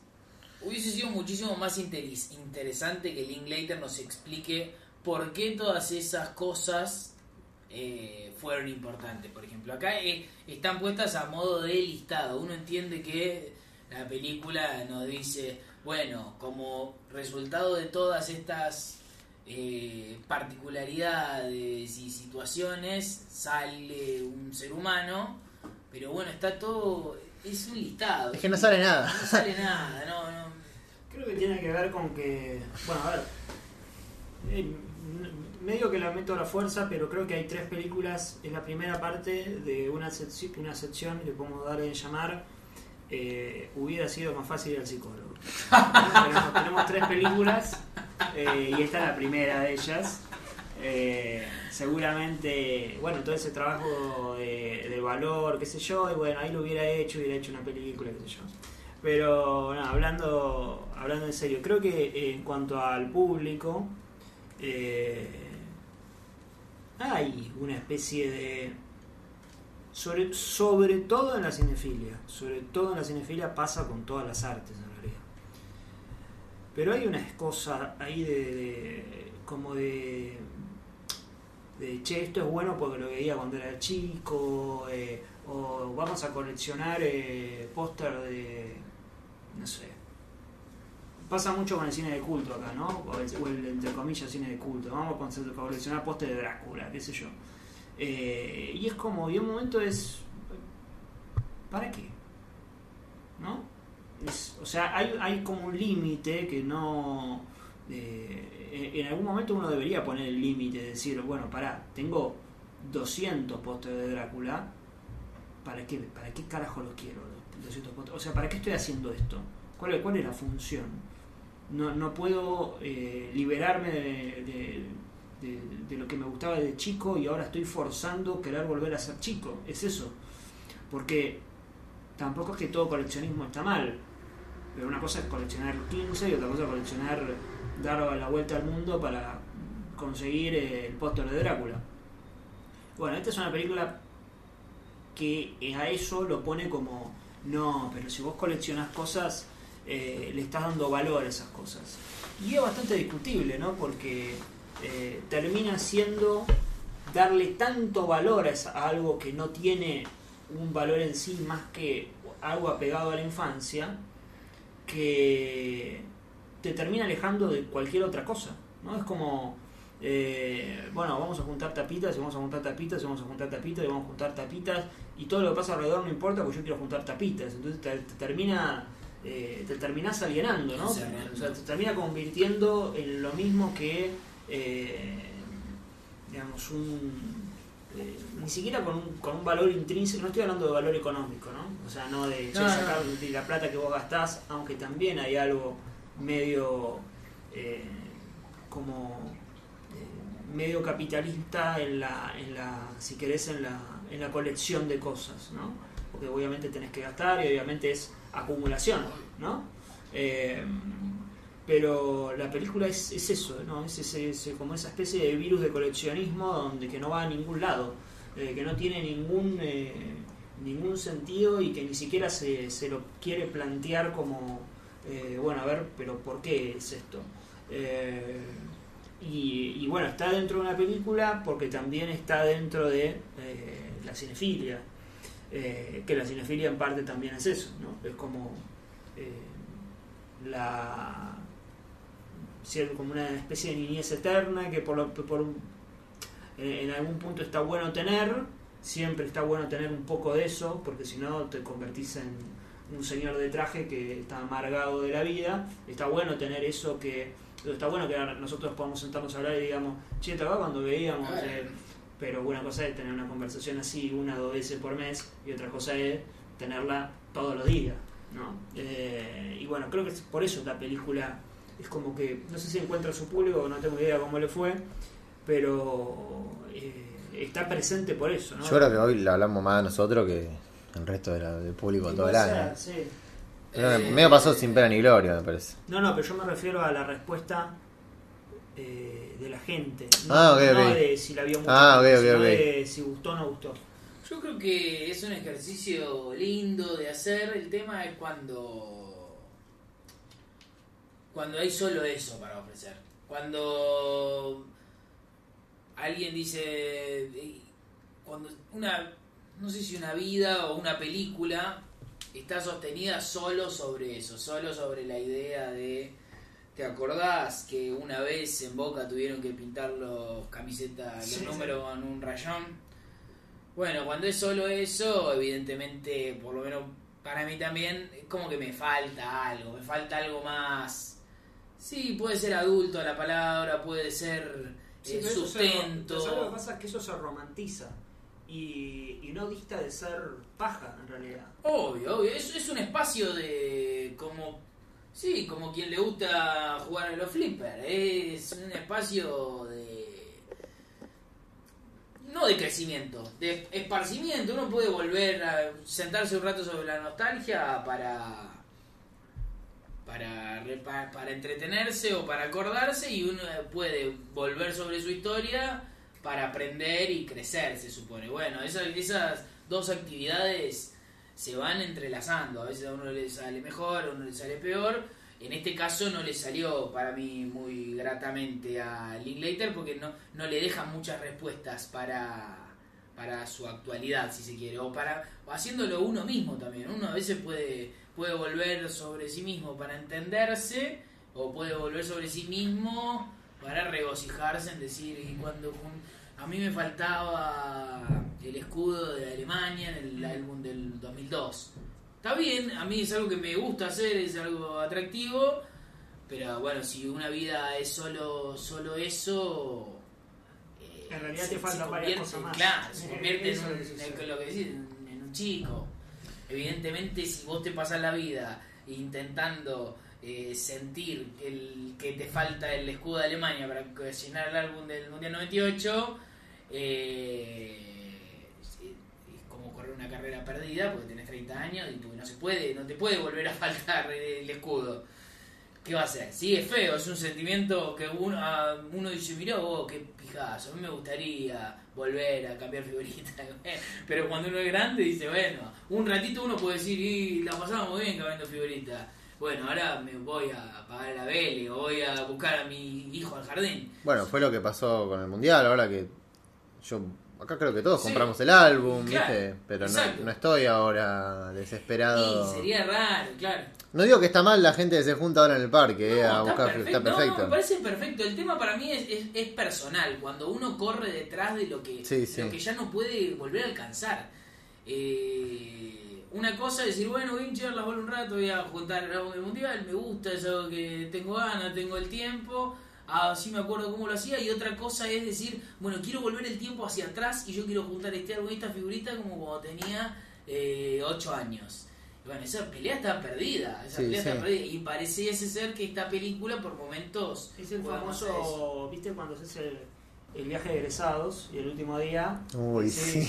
Bueno, ¿saben qué? Y estás ahí todos unidos de las manos, suena, Ay. suena un amigo, es una luz, ¿viste? El último boliche y están saliendo ahí todos y se juntan y están en- se suben al micro y uno agarra la palabra y dice, muchacho, la verdad que la pasé muy bien. Eh, En el medio del discurso interrumpe y, y, y termina diciendo, ¿y saben lo que vamos a hacer? Vamos a volver a Bariloche.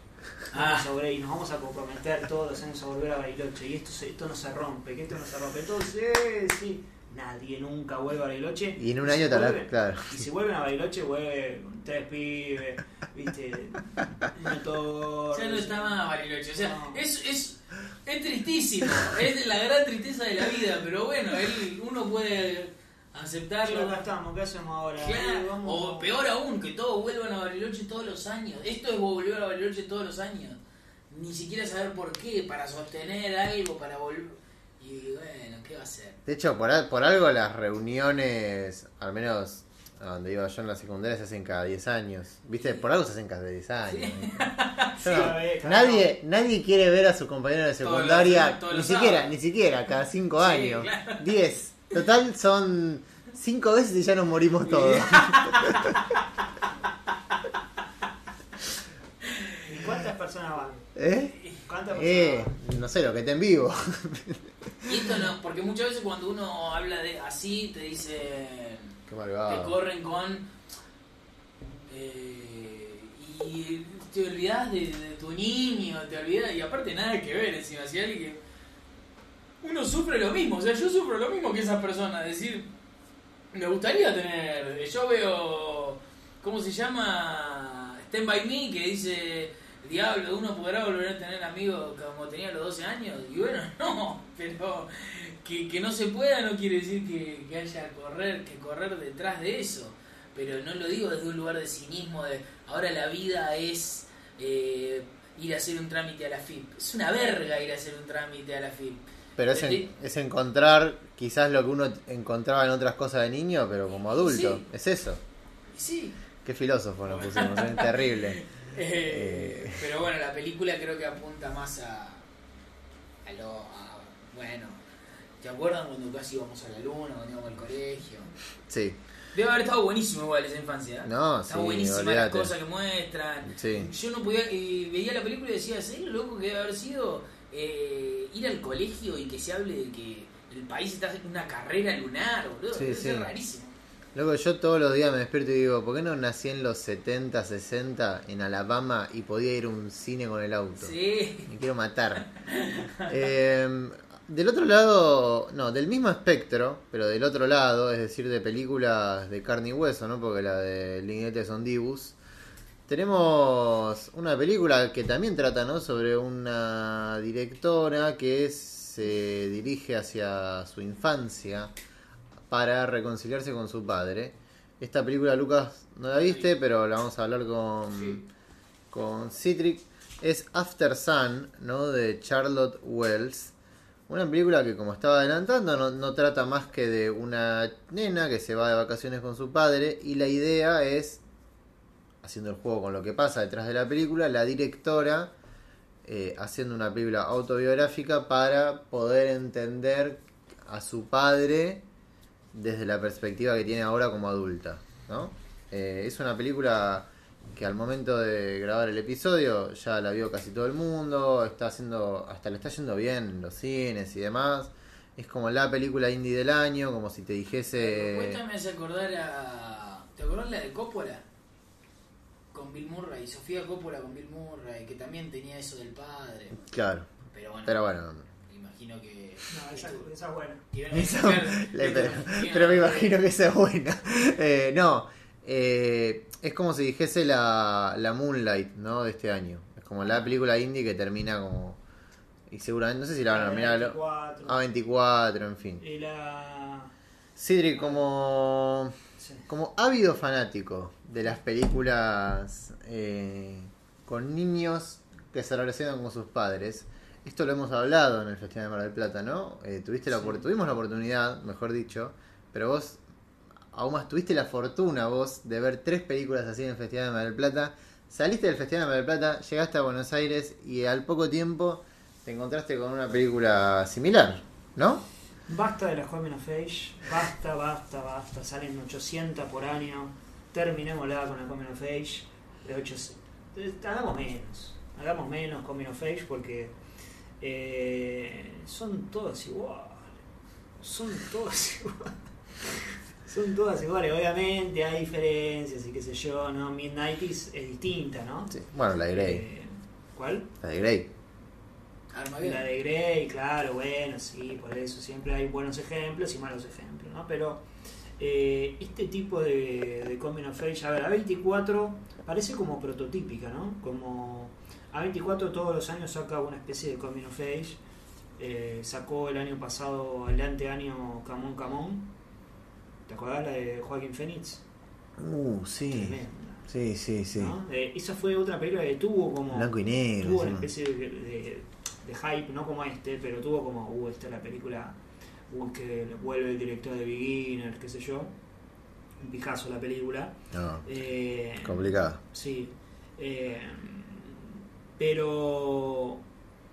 Y bueno, y esta, esta tiene todo eso, ¿no? Esta tiene la historia de, de la chica con su padre, tiene eh, el tema de, de los videos y los VHS, si querés. Vamos a cerrarlo en ese, en ese rubro. Tiene también música pop eh, con hits. Sí, dos o, dos o tres canciones de los 80. Es como lo prototípico, tiene que estar eso, tiene que estar todo eso, y la película lo tiene todo, y obviamente gusta.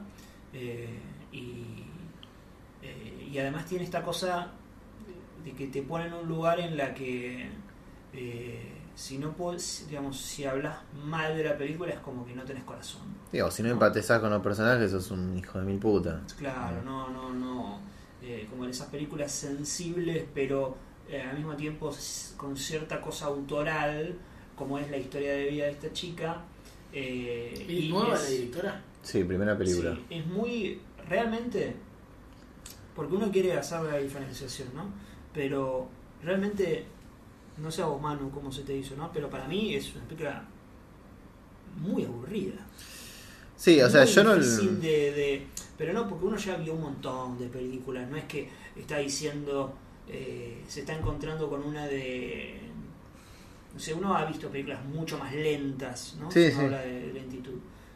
Pero eh, lo que particularmente había molestado a la película respecto a eso es que tiene como ahí como una pretensión medio eh, como fantasmal, por así decirlo, Sí. de, de, que un traveling más lento es una sensación de profundidad la que tiene la película. Cuando la película en realidad no dista de ser casi idéntica a tantas otras que uno ya ha visto millones de veces en, su vida. Pero claro, como es un travel un poco más lento, como en un momento te ponen al padre bailando lentamente, que ahora voy a poner el plano para que lo pueda ver Lucas. eh, entonces pareciera que, que- que tiene más, ¿no? Pero, pero las reflexiones son las mismas que de siempre. Sí, yo lo pienso en la película, ahora te voy a mostrar Citri igual, pero transcurre como en, en... Ay, ¿dónde es? Es en Turquía, pero ahí como están, es americana la película, ¿no? No, es inglesa, pero bueno, transcurre en Turquía y ellos son de un padre y una hija que se van como de vacaciones eh, a un resort, viste, como en Turquía. Y está todo, el- está como en un, como si fuese una playa. Eh, y hay mucho juego en la película con el tema de las olas, ¿no? Como que las olas van y vienen, viste que cuando el mar está calmo, las olas hacen así despacito. Y como que lo que contaba, lo que contaba Citric es un poco eso, como que todos los planos quieren asemejarse a ese movimiento, si se quiere, lento eh, de las olas y emplea como los travelings y eso.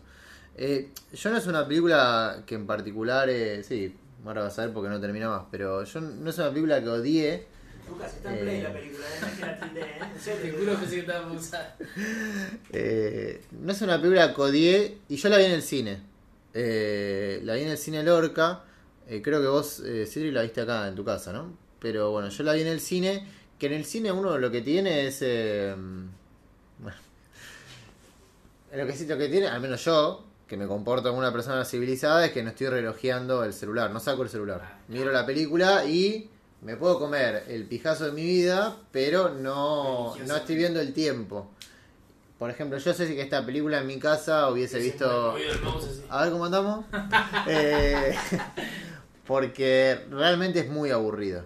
Eh, y yo en un momento pensaba que, que iba a arrancar y la película nunca termina nunca termina arrancando. E incluso cuando uno cuando pasa sensación y uno llega al cuándo va a terminar, nunca termina de terminar la película. Es algo que yo creo que es lo, lo primero que te dije, incluso cuando vos no la habías visto, Citri, yo te había dicho esto de que la película tenía como 10 planos finales. ¿No? Vieron que uno cuando mira una película, el, el plano final como el inicial, Está fumando un pucho. El plano final como el inicial es como que tiene mucha potencia y demás. Y acá en el último tramo de la película vos tenés como un montón de planos así y nunca termina siendo el, el definitivo. Por ejemplo, este que estamos viendo acá, este podría ser un plano final. Sí. Eh, que para el que la vio es cuando está Paul Mezcal ahí en el balcón bailando. No termina más. No termina más, eh, estamos... ¿Qué te parece, Lucas? ¿Qué, es? ¿Qué, qué sentís? No, no, no vi la película, no puedo hablar de la película. Eh, parece una película bastante aburrida. A priori, salvo que haya pasado algo.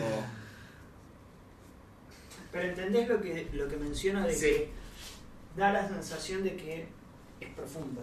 Obvio, Es obvio, como obvio. con la. Existe una decisión de.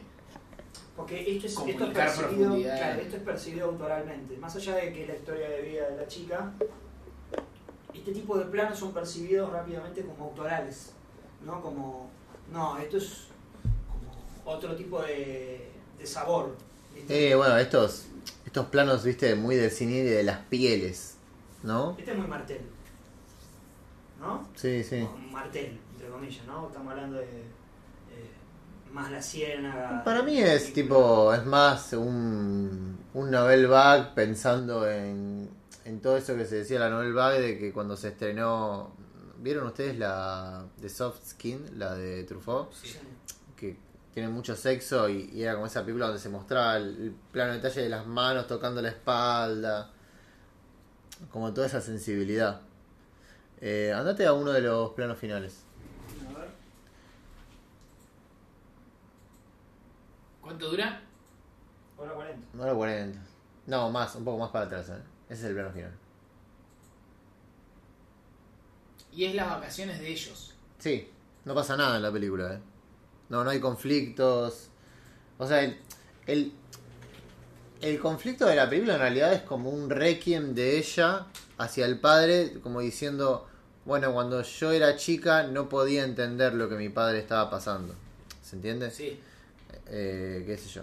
por ejemplo, que hablábamos antes del ABL. Cuando yo era chico no me, no me daba cuenta de que mis padres tenían que pagar la luz. Y por eso quizás a veces... Este podría ser un plano final. El plano final. Eh, quizás a veces no comíamos tanto. Eh, digo, un poco, Sí, sí. un poco de esa onda, ¿viste? No digo que a mí me pasaba, pero puede, puede ser. Eh, bueno, este también, este también. Y lo muestran a él llorando, ¿no? Como, como diciendo, bueno, efectivamente el padre también llora cuando es padre. Eh, no es que el hijo, no es que porque tiene un hijo es feliz. Eh, Claro, lo que pasa es que también lo que sucede con estas películas es, ok, ella se entera de que su padre también llora. Vamos a suponer que esa fuera la conclusión, obviamente la estamos sintetizando, ¿no? Eh, ahora, nosotros ya sabemos que su padre llora. Es decir, no es un descubrimiento para la película, sí para el personaje de ella, ¿no? Eh, pero nosotros como adultos ya sabemos que el personaje llora que el padre llora. Entonces no hay ni siquiera una especie de, de- como, no, no quiero decir incógnita, pero de, de cosa ahí donde uno pueda decir, ok, acá me mostró algo que yo no, no, no, no que el personaje no sabía, que yo no sabía. Y no que yo como persona, sino de, de, de una realidad que uno está eh, Sí, ignorando. ignorando, ¿no? Y acá, bueno, sí, que el padre sufre por tener una hija, es como tiene cierta naturalidad. Por eso es, sirve el contraste con Armageddon Time, donde tenemos esa cara del padre con esa cara de, digamos, con lo bueno y lo malo tan, eh, tan arraigado. Sí, Entonces, ahí cuando vos en decís- Armageddon Time cuando humaniza al padre y a la familia en sí, no es condescendiente tampoco con el padre de la película. Para mí no hay una idea de, bueno, hay que entenderlo al padre, le pega al hijo porque tal cosa. Sí, claro. Sino más bien, eh, una- nada, esto es, pasa esto, ¿viste? ¿Qué va a ser? Me digo que generalmente... No, pero ¿sabes dónde, dónde está la diferencia? Que vos ves Armageddon Time y decís, claro, la persona con la que, si bien son tiempos distintos, una obviamente la película sale en el 2022, no solo cuenta de ese tiempo, sino también de que obviamente ese tipo de cosas quedan, porque aparte está lo de Trump y demás. Eh, uno dice, claro, yo, no sé, trabajo en una oficina y mi compañero de trabajo que tiene una hija o un hijo, también le puede pegar también puede ejercer algún tipo de cosa, digamos, eh, y al mismo tiempo puede quererlos mucho y al mismo tiempo, o sea, eh, eh, está ahí dentro del, ser humano que está al lado nuestro. Que un padre llora por la hija, no, no, no, me parece que no llega a tener ese peso de, de revelación para el final de una película, eh, como diciendo, bueno, acá, acá está la verdad. Me parece que le falta eso a la película. Quizás alguien me va a decir, bueno, pero para mí sí funcionó y está perfecto, obviamente eso no pasa nada. Eh, pero digo que me, da la sensación de que la película esquiva tanto caer en lugares comunes que termina cayendo en todos. O sea, termina siendo la lista de, de- el Excel de A24 lo cumple en todas, con la diferencia de que se ralentiza un poco más, sí. eh, hay menos diálogos, entonces pareciera que es un poco, digamos, que va un poco más lejos que las otras, eh, pero termina, eh, digamos, cuando uno hace la conclusión, digamos, y cuando uno ve que de lo único que se habla todo el tiempo de la película es de la memoria y, y qué sé yo qué, uno termina diciendo, bueno, evidentemente... eh, tampoco parece haber mucho más, ¿no? Porque si todos Sí. se llegan a la misma reflexión es porque no hay, hay algo ahí que no eh, que no hace que la película termine siendo esa película trascendental me parece. Sí, la idea de la cámara, digo, se agota a los dos minutos. Sí, claro. O sea, cuando uno llega al final, que está ese plano final con la cámara y la tele, eh, no es que no es que antes en la película nunca se mostró una cámara, como que ya se agotó muchísimo Se agotó, antes. Entonces está, ya- es impo- o sea, la- al final ya llegaste a los 10 minutos exactamente. Eh, y se- o sea, o sea, la yo- idea del final se entiende ¿no? Sí, sí, sí. ya llegaste a los 10 minutos. Y por eso parece que una película que no dura tanto, dure tanto. Es una película que no termina más. Eh, para cerrar el segmento Anda el psicólogo, eh, era mejor ir al psicólogo. Lucas, te voy a decir una cosa. Yo con estas llaves me puedo dar cuenta está Berman acá con nosotros. Si se mueven solas, Berman se va. ¿Lo ves? Están moviendo. Eh, Berman, estamos acá para hablar con Berman sobre Bardo. Eh, Lucas, bueno, no, a mí también, en realidad es un poco una elección mía, ¿no? Porque eh, tengo apologista de Birman en la bio de Twitter. Pero a mí, Ñarritu, ¿Hasta qué, ¿Hasta qué mes está eso? ¿eh? No, lo voy a dejar. Va a dejar, bueno. Como un cuadro, como cierto póster que tengo en casa. Que no lo puedo decir al aire. Eh, a mí me gusta Iñarritu, lo, hemos, lo he defendido bastante en este podcast. Tenía. No, mentira, voy a ser sincero. Yo le tenía cero fe a esta película. Eh, realmente parecía imposible de entrada. Y efectivamente, Lucas, fue imposible. Eh, una película de esta que estamos hablando, o sea, yo vi Fue la mejor película dos. que vi en mi vida. Fue la mejor. Como... Yo sabes que no sé entre qué me quedo, si entre la de Linklater o esta. A mí me pasó algo con la película. La película, su prólogo dije, uy, viene lo peor del mundo. Ahora viene algo realmente terrible. Pensé que iba a ser un sinsentido total, que iba a ser eh, Las sombras, decís, ¿no? las sombras, el, el, el cordón umbilical gigante, ellos diciendo it's aparte- Fellini time, Sí, es un It's Fellini Time, pero pensé que. oh yeah, It's Fellini Y Time. aparece un payaso. Y. Una promo de Hora de Aventura, Hora de Fellini.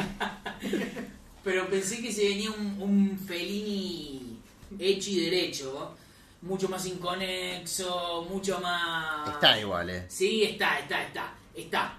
Pero a mí lo- la parte de la película, eh, adulto, personajes eh, filosofando, personajes hablando sobre su vida y qué sé yo, si bien por supuesto no es el tipo de cine que me gusta, eh, no, no, no que me gusta, pero que prefiero, es algo que lo puedo disfrutar. O sea, a, a- a mí, por, por más que algo sea discursivo o algo sea eh, obvio, si es interesante, lo, puedo llegar a disfrutar. Y hay un par de pasajes de la película que me resultan por lo menos interesantes sobre lo que está diciendo un personaje, por más que esté diciendo lo obvio o esté filosofando en voz alta.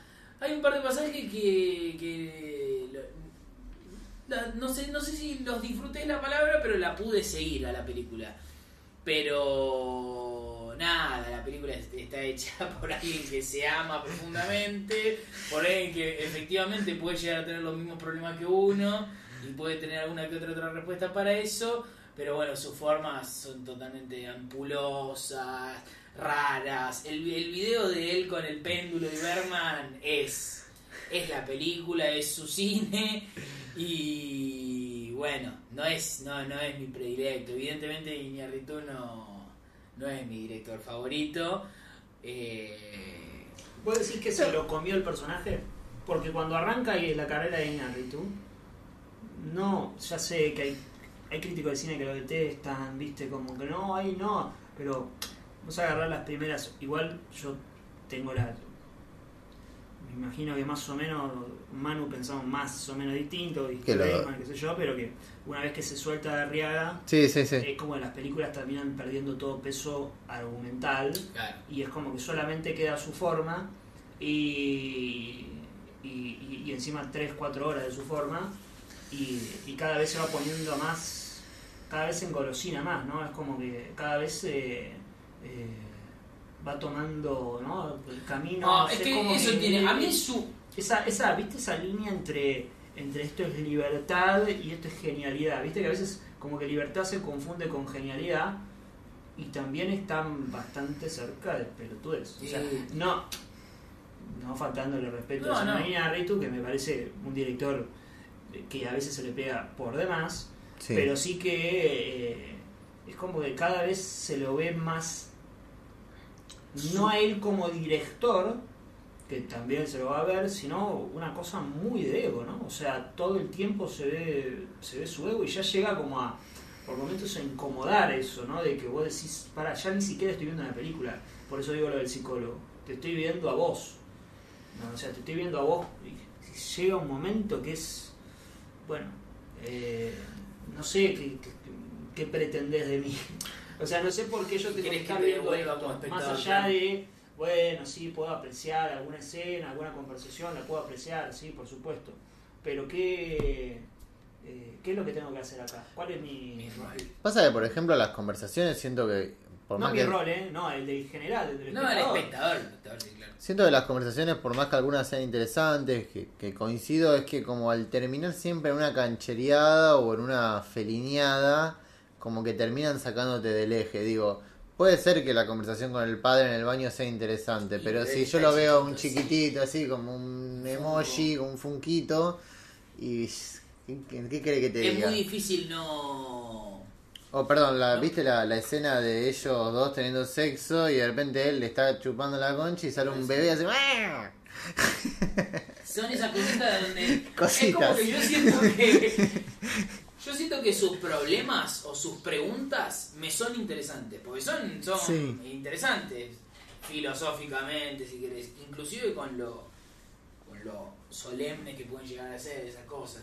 Pero después su forma, no, a mí no me gusta, son, son también gustos, no sé si son gustos, pero a mí ese tipo de cuestiones medio oníricas, pero no oníricas, él vale todo, sí, está bien que siempre vale todo y cualquier persona, hay personas que, que defenderán eso como una, como una señal de autoría Mm. o de formas, o, o el mismo Iñárritu se responde a eso en la película diciendo estoy cansado de hablar sobre lo que pienso, quiero hablar sobre lo que siento.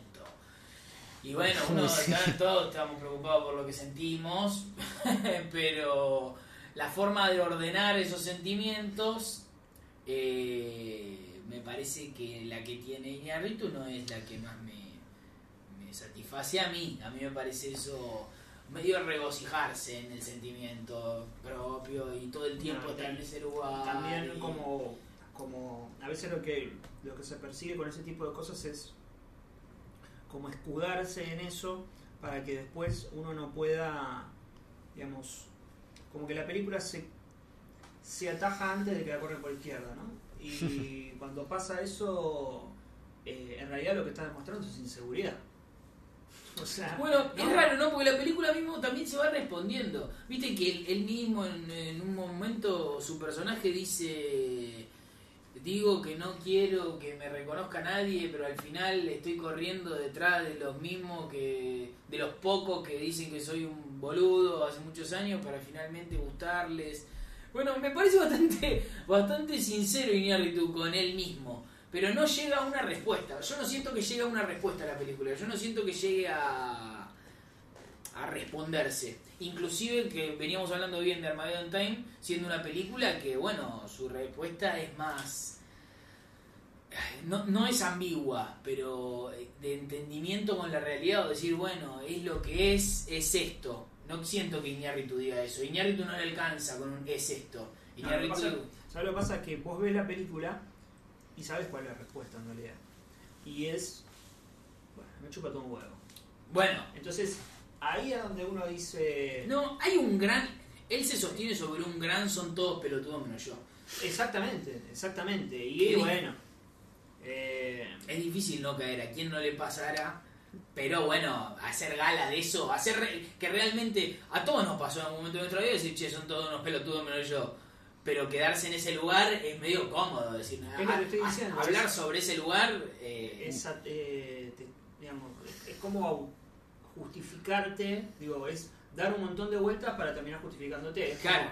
che, esto es una vez, pero no, pero al final, qué sé yo, bla, bla, bla. Bueno, son todos unos pelotudos. Entonces, bueno, es como medio cómodo al final. Eh, Bueno, de hecho, para mí la escena más. La decisión más polémica de la película es toda esa escena con el crítico en el balcón y la resolución es callarlo, que no hable más, ¿viste? Pero ¿cuál es la solución de eso? O sea, no le das. No le terminas dando voz. aparte se va al que te está- se va a bailar. después. Sí, sí, sí. gigante bailando. No hay nada, lo puse en Twitter el otro día. Odio todos los usos de Let's Dance en las películas. Sí, sí. Tan siempre de más, son insoportables, qué sé yo. Y acá no solo eso, sino que me solemnizaron a Let's Dance. Inclusive es otra versión, ¿no? No, no, es la, es la vers- es, es Let's Dance. eh, tipo, no sé cómo se dice, pero es como sacándole toda la fuente de sonido que no sea la voz. Ah, mira. O sea, es solo Bowie cantando. O sea, si vos escuchás la canción solo con la voz. Tipo capela. Claro, es a capela, pero ni siquiera porque no se escucha ni. ni- sí, como que No ni tiene si- melodía. Como que no tiene melodía. Eh, y el tipo haciendo. No, No, no, la no. capela no tiene melodía. Claro, no, tenés razón. Eh, no, pero viste que a veces en la capela como que el cantón también hace como un poco la melodía sonora. Ojalá. Claro, bueno, eso ni siquiera. Eh, Baraglia bien podría haber hecho de Iñárritu. Eh, es gracioso porque la película, viste, como que habla todo el tiempo de México y demás. Es tanto así que la mexicanizaron a Grisela Siciliani, viste, que está ahí. Eh, como que está desarmado completamente. Cuando va el, cuando va el programa de tele. Al principio. Sí, sí, sí, ese fondo todo gigante. Te digo que mm, a mí lo que me dio un poco de bronca de la película, no, no, a mí la película no me molestó ni nada, después uno puede tener su diferencia, pero no, no, a mí no me, qué sé yo, no es que me ofendió la película ni nada, pero sí me molestó que, que a mí me gustaría poder bancarlo a Iñárritu como, digamos, que- que- que tenga no digo que vuelva a hacer lo que hizo, él estará en otra etapa y está bien, Y no vuelve más. no, claro, pero que pueda hacer una película, porque obviamente que es un director con mucho talento, eso no lo... Pero sin embargo, él es, como se está en Bardo, es atacado mucho por la crítica, y uno ve que él, digamos, puede hacer una película, como ya hizo, donde, digamos, pueda mostrar su talento, pero al mismo tiempo mantenerlo, no te digo comprimido, pero no estar, digamos, no ser mastur- masturbatorio. No, que ponga su talento en pos de algo, para contar algo. Acá, eh, sí, bueno, él dice eso, ¿viste? Eso de quiero contar lo que siento. Sí, o mi historia con México. Digo, toda la película trata sobre la historia y su relación con México, lo de ¿no? Cortés. No, bueno, entonces aparte, yo sé que la Aparte, película... Está en un museo y empiezan a los tiros y cuenta la Uh, batalla. eso es al principio. Al principio. Sí, sí. No, viste, yo sé que la película es como una película de sketch, que es lo más Fellini que hay, ¿no? Las películas de sketch. Y, y siento que lo- mi problema con Fellini también y con este tipo de películas es que cuando no funciona ningún sketch te estás comiendo un- no solo una cosa que no tiene, que es todo muy inconexo, sino te estás, te estás matando viéndolo. Como no lo aguantás más. Encima siempre dura más de dos horas. Y siempre dura más de dos horas, olvídate. Entonces, acá me parece que hay toda una secuencia que puedes decir, bueno, la le estamos criticando muchas cosas, ¿viste? La parte de la fiesta, ¿no? Que el Funko, que bueno, que les dance y demás. Pero dentro de todo es una parte movida. No, hay, parte mo- hay movimiento. sí, sí. Están los, ¿viste? Cuando vienen los amigos y empiezan a hablar de, de él y de su infancia y qué sé yo. Ahora, por ese tipo de secuencias, que serán unos 20, 25 minutos, media hora inclusive, después tenés 30 minutos del chabón caminando, que primero va a esa iglesia y se empiezan a caer muertas todas las personas y la ciudad se empieza a quedar vacía y se queda todo oscuro y él camina por una playa oscura y de repente hay una estatua como rota y se empieza a escuchar la voz de un español, va, está Cortés hablando ahí muerto. No, eso, por eso te digo, esas son las. Ahí le suelto la mano fuertemente. Ahí digo, no, no, esto es un vergazo total. Esas son la parte donde digo esto. Pero qué sé yo, él hablando con el hijo en el desayuno sobre Sí, está qué bueno. es México para cada uno. Qué sé yo, ahí esas cosas están buenas. Pero. Pero, digo, es, es raro porque, si bien es cierto que creo que Iñárritu se está yendo cada vez más para ese lado, me llama la atención que la película inmediatamente anterior, y esto vos lo- creo que lo mencionaste por WhatsApp, era de Revenant. No que en Revenant, al menos hay una... Yo sé que de Revenant la vi una sola vez y hace muchos años, pero me acuerdo que tenía toda esa cuestión paisajista y... No, y- pero había una historia. Yo recuerdo lo mismo, la vi en su momento en el cine y recuerdo que era una historia con trama medio- con paisaje, que mucha naturaleza y qué sé yo, pero a fin de cuentas era una película, estaba DiCaprio peleando con un oso. Claro, pero viste que en la película DiCaprio como que mira, tiene muchas secuencias oníricas con la esposa muerta. Sí. Y hay mucho de eso, que eso es como esta parte de Bardo. Pero como vos decís, hay una escena hecha y derecha de DiCaprio peleando con un oso y después cagándose a tiro con un montón de conquistadores, Sí. bueno, no sé qué son. Pero digo, había todavía ahí algo que incluso más allá de ser, no ser lo mismo que en el resto de, de su- de sus primeras películas, había todavía algo, una trama que uno se podía agarrar y alguna acción que vos decir, bueno, al menos estoy viendo esto. Eh, acá directamente es pasarse por completo a, eh, sí, a la cuestión como autobiográfica, onírica, qué sé yo. Digo, no me parece casual que dos de las películas que menos me agradaron en, en estos últimos años hayan sido de dos directores mexicanos queriendo volver a sus raíces y haciendo una película autobiográfica con toques oníricos. Porque Roma es más o menos lo mismo que Bardo, pero en blanco y negro. Y ponerle que no hay tanto escena de gente volando, pero era una película, como comentaste en su momento, donde había una señora embarazada, y de repente aparecía un... ¿Te acuerdas cómo se llamaba el, el bicharraco ese? Sí, no me acuerdo. Como una fiesta, ¿no? ¿Te acordás? Sí, se ponía a cantar. Sí, se ponía a cantar, ¿no? Era como una película que tenía esas escenas. Pasa bastante en Bardo que vos le. Cuando charla con el resto y el resto lo, lo ataca, vos decís, tiene razón el chabón. ¿eh?". Muchas veces me pasó de decir, tiene razón el flaco lo que le está diciendo, tiene razón el hijo lo que está diciendo. Creo que la película también, igual en ese sentido, es bastante autoconsciente de que. Para mí se pone enfrente argumentos que que son relativamente sólidos. O sea, cuando dentro de la película autobiográfica de Iñárritu lo critica a Iñárritu, eh, lo, lo critican con balas certeras. Sí, no sí. es que se puso a él diciéndole, no sé, lo- una escena de él volviendo a México y yendo a un local, a una un programa de televisión donde le dicen, te olvidaste de tus raíces, que es como algo abarcativo, es más... Todo Más cómodo. que odia a México. Sí, sí, odia a México, fuertemente. fuertemente. O sea, a él le encantaría la relación de Estados Unidos. Bueno, su, su gran son todos pelotudos menos yo con México. Sí. Eh, pero. Es como esa foto que pasé el otro día en WhatsApp, que estaba ahí en el estreno de Pinocho. Y estaba ahí arriba con el pinochito de del toro. Sí, uno ve, de- uno ve Bardo y le debe estar diciendo en la cabeza, metete el pinocho del orto, gordo, la concha de tu madre. 100%. Para mí el problema con todo eso es que la película es, es muy poco graciosa. No se propone Uh, ser es- graciosa. Ah, bueno, ni hablar yo cuando le digo una comedia. Es muy poco graciosa y cuando se lo propone le sale siempre mal.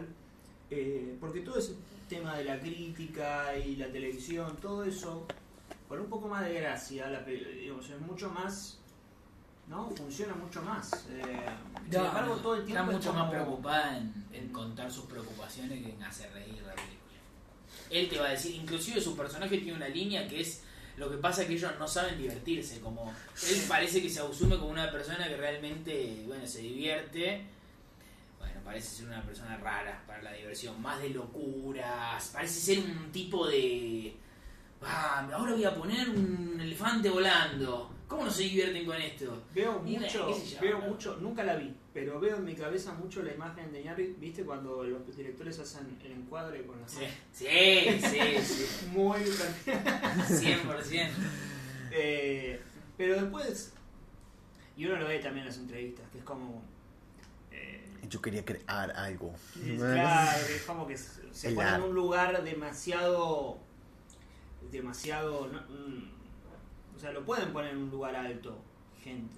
Sí. Pero uno debiera tener un poquito más de, digamos, no decir, bueno, yo acá estoy creando eh, una reflexión sobre, eh, sobre, sobre la humanidad y sobre el mundo, y papá, eh, pará, pará, pará. No, igual lo que, lo que- Sin embargo, me, me divierte mucho ver las entrevistas, No, me, sí. me divierte muchísimo. Eh, la masterclass es tan buenísima, esa que Sí, sí, hizo- sí, sí. o sea, no es que uno las ve y dice, che, no me llevo nada. Están buenas, pero uno ve también eso que convive dentro de su, de su persona o de su personaje público, donde de repente tiene como declaraciones muy ampulosas. Cuando dice lo de los superhéroes, después todos terminamos coincidiendo, Sí, totalmente. pero él llega a decir que es un genocidio, ¿eh? es muchísimo, Alejandro, es muchísimo. Un genocidio cultural. Un genocidio que es muchísimo. Pero bueno, eh, bueno, forma parte de él en definitiva. Y bueno. Es un personajón igual, ¿eh? O sea, es No, un sí, personaje. el video de Berman es. El de Berman es increíble. O uno lo termina convenciendo. Lo quiero acá eh, de- debatiendo sobre lo que sea, sobre, Sí, sí. eh, sobre México. Em, Que me hable de un Boca River como si fuese un debate sobre la existencia de la que humanidad, hable del boludo. Atlante contra, el, contra las chivas de Guadalajara. Me encantaría. Bueno, la película. No, No. debe, debe decir 11 pelotudos corriendo atrás de una pelota. debe el El ajedrez. Algo más, algo más, met- algo más Ah, metódico. ver, Más, más hermanesco. Eh, y la película cuando llega al final y quiere justificar todo como fue todo un sueño, puede ser que justifique, pero al mismo tiempo a mí no me justifica haberme comido dos horas de semejante pingón, o sea, no... No, aparte hay algo de. Bueno, sí, hay algo del sí. final que medio que intenta revelar. eh, Fue todo un sueño, él estaba viajando en el tren, en el subte. Que uno dice. Y sí, me imaginé que no era la vida real. O sea, ya sabía, en ningún momento yo creí que estaba viendo. Que hay un bebé que sale. eh, sexto sentido. Me imagino, ya sabía que era todo parte. Pero, pero bueno, entiendo que tiene eso de que el bardo es el, con, el momento Sí, la limbo, muerte, sí. una especie de limbo. Que bueno, tiene, tiene su justificación de, de que está ordenada la película en el sentido de, aunque sea Vuelvo al final. con esa justificación, eh, bueno, todo lo anterior podría decir uno que no, no, no es que rompe con ningún tipo de, de lógica, sino que bueno, era todo parte de ese, de ese bardo. De ese bardo, literalmente, Sí. ¿no? Del bardo. Pero bueno, qué sé yo, ojalá esté mejor, ojalá los hijos de Iñárritu viva, el hijo creo que se fue a vivir a México, esté todo bien. Aparte esto fue porque le dieron ataque de pánico con todo, ¿no? Sí. Creo que porque le dieron ataque de pánico. Hubiese estado bueno que la película termine con un. ¿Viste cuando en las comedias de los 80 terminaba. Y María se fue a vivir a México Sí, sí, y sí. se casó. Eh, Bueno, dicen que. Bueno, medio que lo dicen. Que la pelea entre Iñárritu y Arriaga. Es porque Arriaga tenía escrito Amores Perros, la iba a dirigir. Iñárritu la. la ¿Cómo se llama? La. ¿La leyó? No. y dijo no, la quiero dirigir yo y bueno. Eh, y tanto en, las- en las tres películas, si uno ve los créditos, figuraba como guionista Iñárritu con Arriaga. Y lo que dice Arriaga es, nunca le escribió. Nunca Claro. escribió nada. O sea, todo esto, esto me pasó a mí, esto me pasó a mí, esto me pasó a mí, sin que sean biográficas justamente. Sí. Eh, sin que sean como ampulosamente biográficas. Eh, yo me peleé con perros y yo tuve esto, y yo- a mí me pasó esto, y yo tuve, me golpeé la cabeza y estuve cerca de la muerte y por eso 21 gramos, eh, y Babel me pasó esto, bueno. Eh, y- dirigió la película, no la escribió, nunca la escribió. Sí. Entonces llegó un momento que se pudrió y además me parece que eh, directamente creo que lo lo, eh, lo sacó de un, cre- de, de un crédito del bueno, una cosa así como que fue, cada vez lo fue sacando. Uno puede imaginar que es completamente cierto, algo así. ¿eh? Claro, claro. Eh, entonces dice, bueno, eh, no te estás portando muy bien Alejandro tampoco con los Claro. Yo me acordaba, ¿viste el final de la película? Que es él yéndose, que lo, lo, lo llaman los familiares, el camino de luz, y que le dicen, papá, me tengo que ir. Y toda esa idea, y me acordaba cómo lo resuelve. ¿Te acuerdas de la película de Woody Allen donde se muere él? Que termina, empieza en un barquito viajando, que lo está manejando la parca, y él desde el barquito eh, tiene que, creo que aparece, creo que es la que aparece Scoop, creo Sí, que es Scoop. que lo resuelve con él yéndose en el barquito y Woody Allen haciendo un chiste. Y es como, pensaba, ¿cómo lo resuelve Woody Allen tan simplemente decir, bueno, y se está yendo en esa especie de limbo hacia la muerte y con un chiste y este tipo que hizo algo de eso, hizo un, un todo gigante. Vos tenías algo para decir respecto a esto de los directores que toman de influencia a Woody Allen, ¿no? ¿Qué cosa? Esto de que como que entienden a Woody Allen, no sé si a Woody Allen en sí, pero como que Woody Allen lo que hace es tomar a Berman y qué sé yo, y pasarlo por el filtro de la comedia, vamos a decirlo así, y, y después hay directores que toman a Woody Allen, pero que no, no lo pasan por la comedia. Claro, como que se lo solemnizan. Sí, sí. 100%. Es como que mucha gente. es como tomar, pero en el caso de los sketches, ¿no? Como las primeras películas de Woody que eran puro sketch. eh, es como que Woody toma eso de Fellini, que igual Fellini tiene comedia, y bueno, no se ríe nadie, pero bueno. Eh, tiene como comedia y Woody Allen lo pasaba, lo Woody Allenizaba y después el que toma Woody Allen le saca de nuevo todo lo que sea la comedia y lo vuelve un, Y pasa mucho. un bodoque de sketch. Eh, Y que creo- se quedan con. Me parece que muchas veces pasa Woody Allen lo de.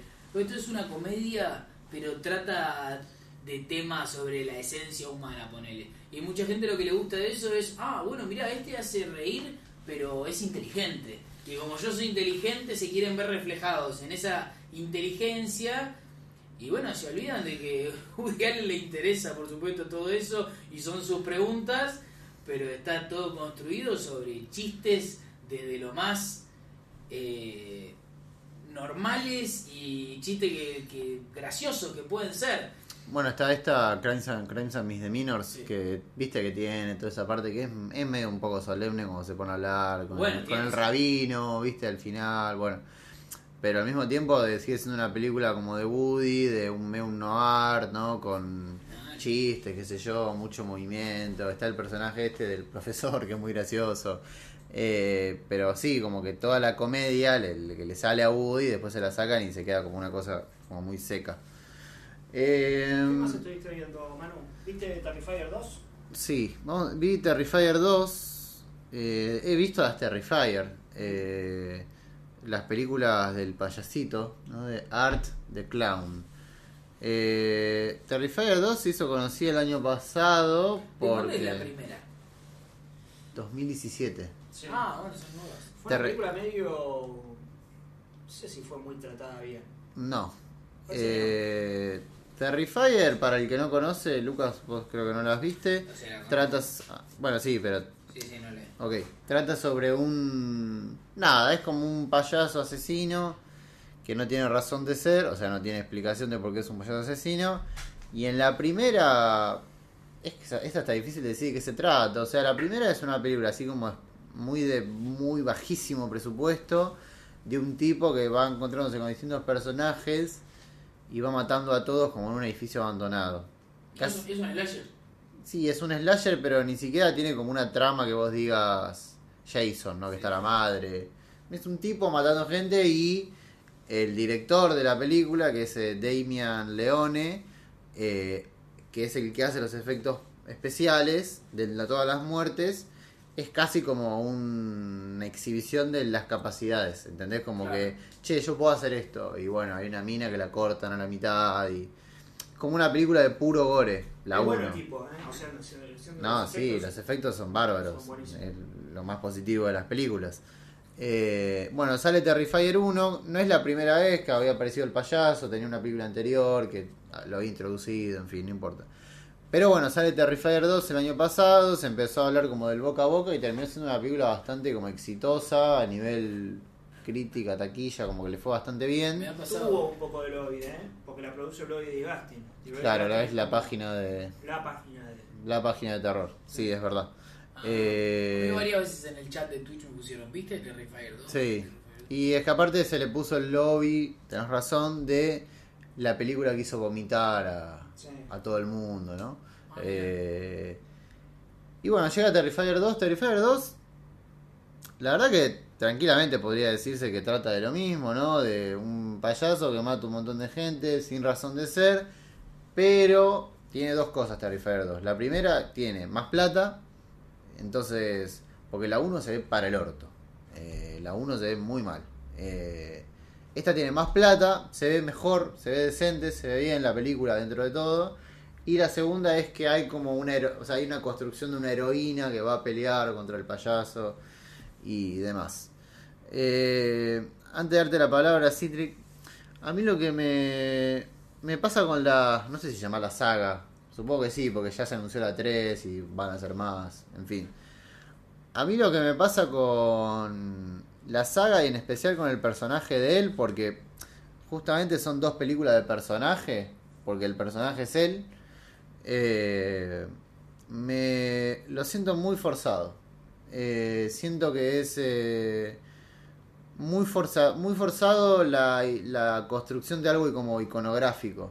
Es decir, en el caso del slasher es un género que se hizo o que tiene uno de sus elementos más conocidos en la figura justamente del asesino y que el asesino sea icónico. Ahora, a la hora de crear a Jason, a la hora de crear a Freddy, a la hora de crear a Michael Myers, el objetivo de Carpenter, no, de Carpenter, Craven y Cunningham eh, no era el de, bueno, yo hago esta película para que se me recuerde por hacer a este personaje que es un tipo con una máscara. Digo, Carpenter construye una película como Halloween, que es una obra maestra, un clásico, por un montón de cosas más, no pensando solo en el personaje. En cambio acá yo siento que está... Hay una, hay una idea muy forzada de querer crear al nuevo personaje slasher de esta generación. Eh, entonces a partir de ahí, las dos películas se me hacen muy cuesta arriba. Ahora la 2, la vi en el cine también, lo mismo que After Sun, y no la padecí tanto. O sea, un poco la padecí, pero como no miraba la hora, en fin, lo que dije antes. Pero no podía sacármelo de la cabeza. Más allá de que sea más divertida, ¿no? Como que estaba viendo algo que decía, me están queriendo forzar a, a decir aguante todo.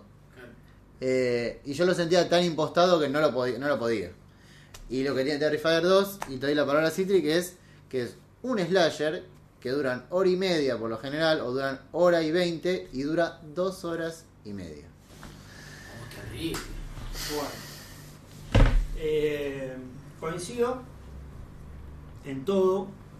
Y lo que sucede con, con el villano. Eh, es que esos personajes que vos bien mencionás, mano, Michael Myers, Jason, Freddy Krueger, incluso otros que pueden ser menores, no sé, los vecinos de My de Valentine, digo, algunos que no quedaron, no terminaron quedado, quedando tan en la historia como esos otros, tienen un origen que los hace ser eh, recordados. Sí. No es solamente que Freddy Krueger tiene cara de pizza, sino que digamos, cómo muere Freddy Krueger, cuál es su objetivo, de, qué hecho, forma. En, la cultura popular todo el mundo sabe, ¿viste? ¿Por qué muere Freddy Krueger? tu mamá cuando te decía, chico, vamos a ver la de Freddy que le pasó esto, por esto, o Jason y el lago. Ni hablar Michael Myers, ¿no? Sí, sí. todos recordamos la primera secuencia, la plano secuencia. Y o, está. o Chucky, por ejemplo. O Chucky, o Chucky. En realidad todo buen personaje. Sí, pero sobre todo los personajes de los slashers. Sí, sí. Y acá eso no existe. Acá directamente es un payaso y es un payaso, no, no, no, no nada más. O sea, es un tipo disfrazado de payaso. No. Ni siquiera es que decir, bueno, no para, no tiene como un, una historia en sí, pero tiene algo característico de. No, es una película que se. Vamos a ver de comillas. Se abusa de que hay un miedo a los payasos. Eh, y directamente te ponen payasos matando. No, no, eso que no, tiene nada icónico. No, Pennywise era un payaso, pero a su vez no era un payaso, ¿no? Porque podía transformarse en otras cosas. Bueno, todo lo que sabemos de Pennywise. Eh, esto es payaso matando y listo. Yo entiendo que puede gustar la película que puede gustar también porque hay como una ausencia de gore, ponerle en, en el cine actual, entonces que aparezca una película y además con efectos prácticos. Yo eso, todo eso lo entiendo. Sí, sí. Más allá de que sea una exageración total, una que dure dos horas y media, no tiene ningún tipo de sentido. Yo todo eso lo comprendo. Ahora, esa manía de querer instalarlo como este es el nuevo eh, el nuevo villano ya quedó en la historia del cine pará hermano ¿la historia de qué quedó? Sí. ¿la historia de qué? Eh, esto va a terminar, yo ya sé cómo va a terminar esto. Eh, un momento en el año 2008, 9, 10, bueno, por ahí, que salió el Cien Pies Humano. Y era, che, ¿viste el cien pies humano? Qué loco ese, ese, ese doctor que es como Mengele, no, qué experimento, y no, qué impresionable. La boca del culo, ¿viste? Como- Eh, claro, y después hay la 2, y la 2 ya la gente no la vio, después hay la 3 que es una garcha total que no la vio nadie. ¿Va a pasar lo mismo? No, probablemente Terrifier, por el talento que tiene el tipo haciendo... Pero en el momento se va a ir de Terrifier y va a hacer otras cosas. Eh, y Terrifier 4 va a salir y va a ser una película directo, el famoso straight to video. Sí, Eh, y, y va a ser ya un payaso. Capaz que es el mismo actor, pero ya está más gordo. Eh, va a ser como New, no ser New-. New Nightmare. claro, va- va a ser una cosa medio. eh, y, y va a quedar ahí. Pero no, no la vi la película. ¿En ningún momento se le da contexto al personaje del asesino? En realidad, y bueno, creo que es cuando más se embarra la película, es que en la 2 le quieren dar primero todo un contexto sobrenatural, y que ahora sí, Trix, si querés puedes hablar de eso, pero además hay un intento como darle contexto, viste, con el parque de diversiones. Sí. Hay un momento, la película termina en un parque de diversiones, ¿no? Eh, y todo el resto es como en un pueblo tipo el pueblo de Halloween. Y hay un momento como que hay unos recortes de diario y como que se quiere decir, bueno, acá hay una nena que se murió, porque algo o sea, se embarra, ¿viste? Como que decís, en el momento en el que la película se quiere, se quiere poner como las pilas, entre comillas, y decir, bueno, algo tengo que explicar, es cuando menos se entiende nada. Y pasa tanto por lo que por querer darle algún motivo a la entidad que queda muy difuso y por lo que va a decir ahora Citric del, del fantástico, todo lo ¿no? fantástico es, es, eh, lo- eso sí es lo peor de la película. Digo, todo, lo que todo lo que refiere al fantástico en la película es todo completamente vago. Porque, perdón, en la, para que sepas, en- la primera termina con que el payaso se pega un tiro antes de que la policía lo venga a buscar.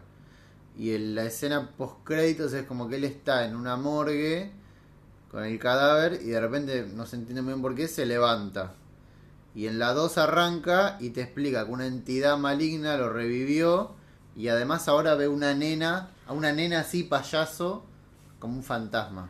Ah, Ahora le No, seguí. todo lo que es eh, los, los homenajes, todos los homenajes, los homenajes a Freddy, que son mega recontra obvios.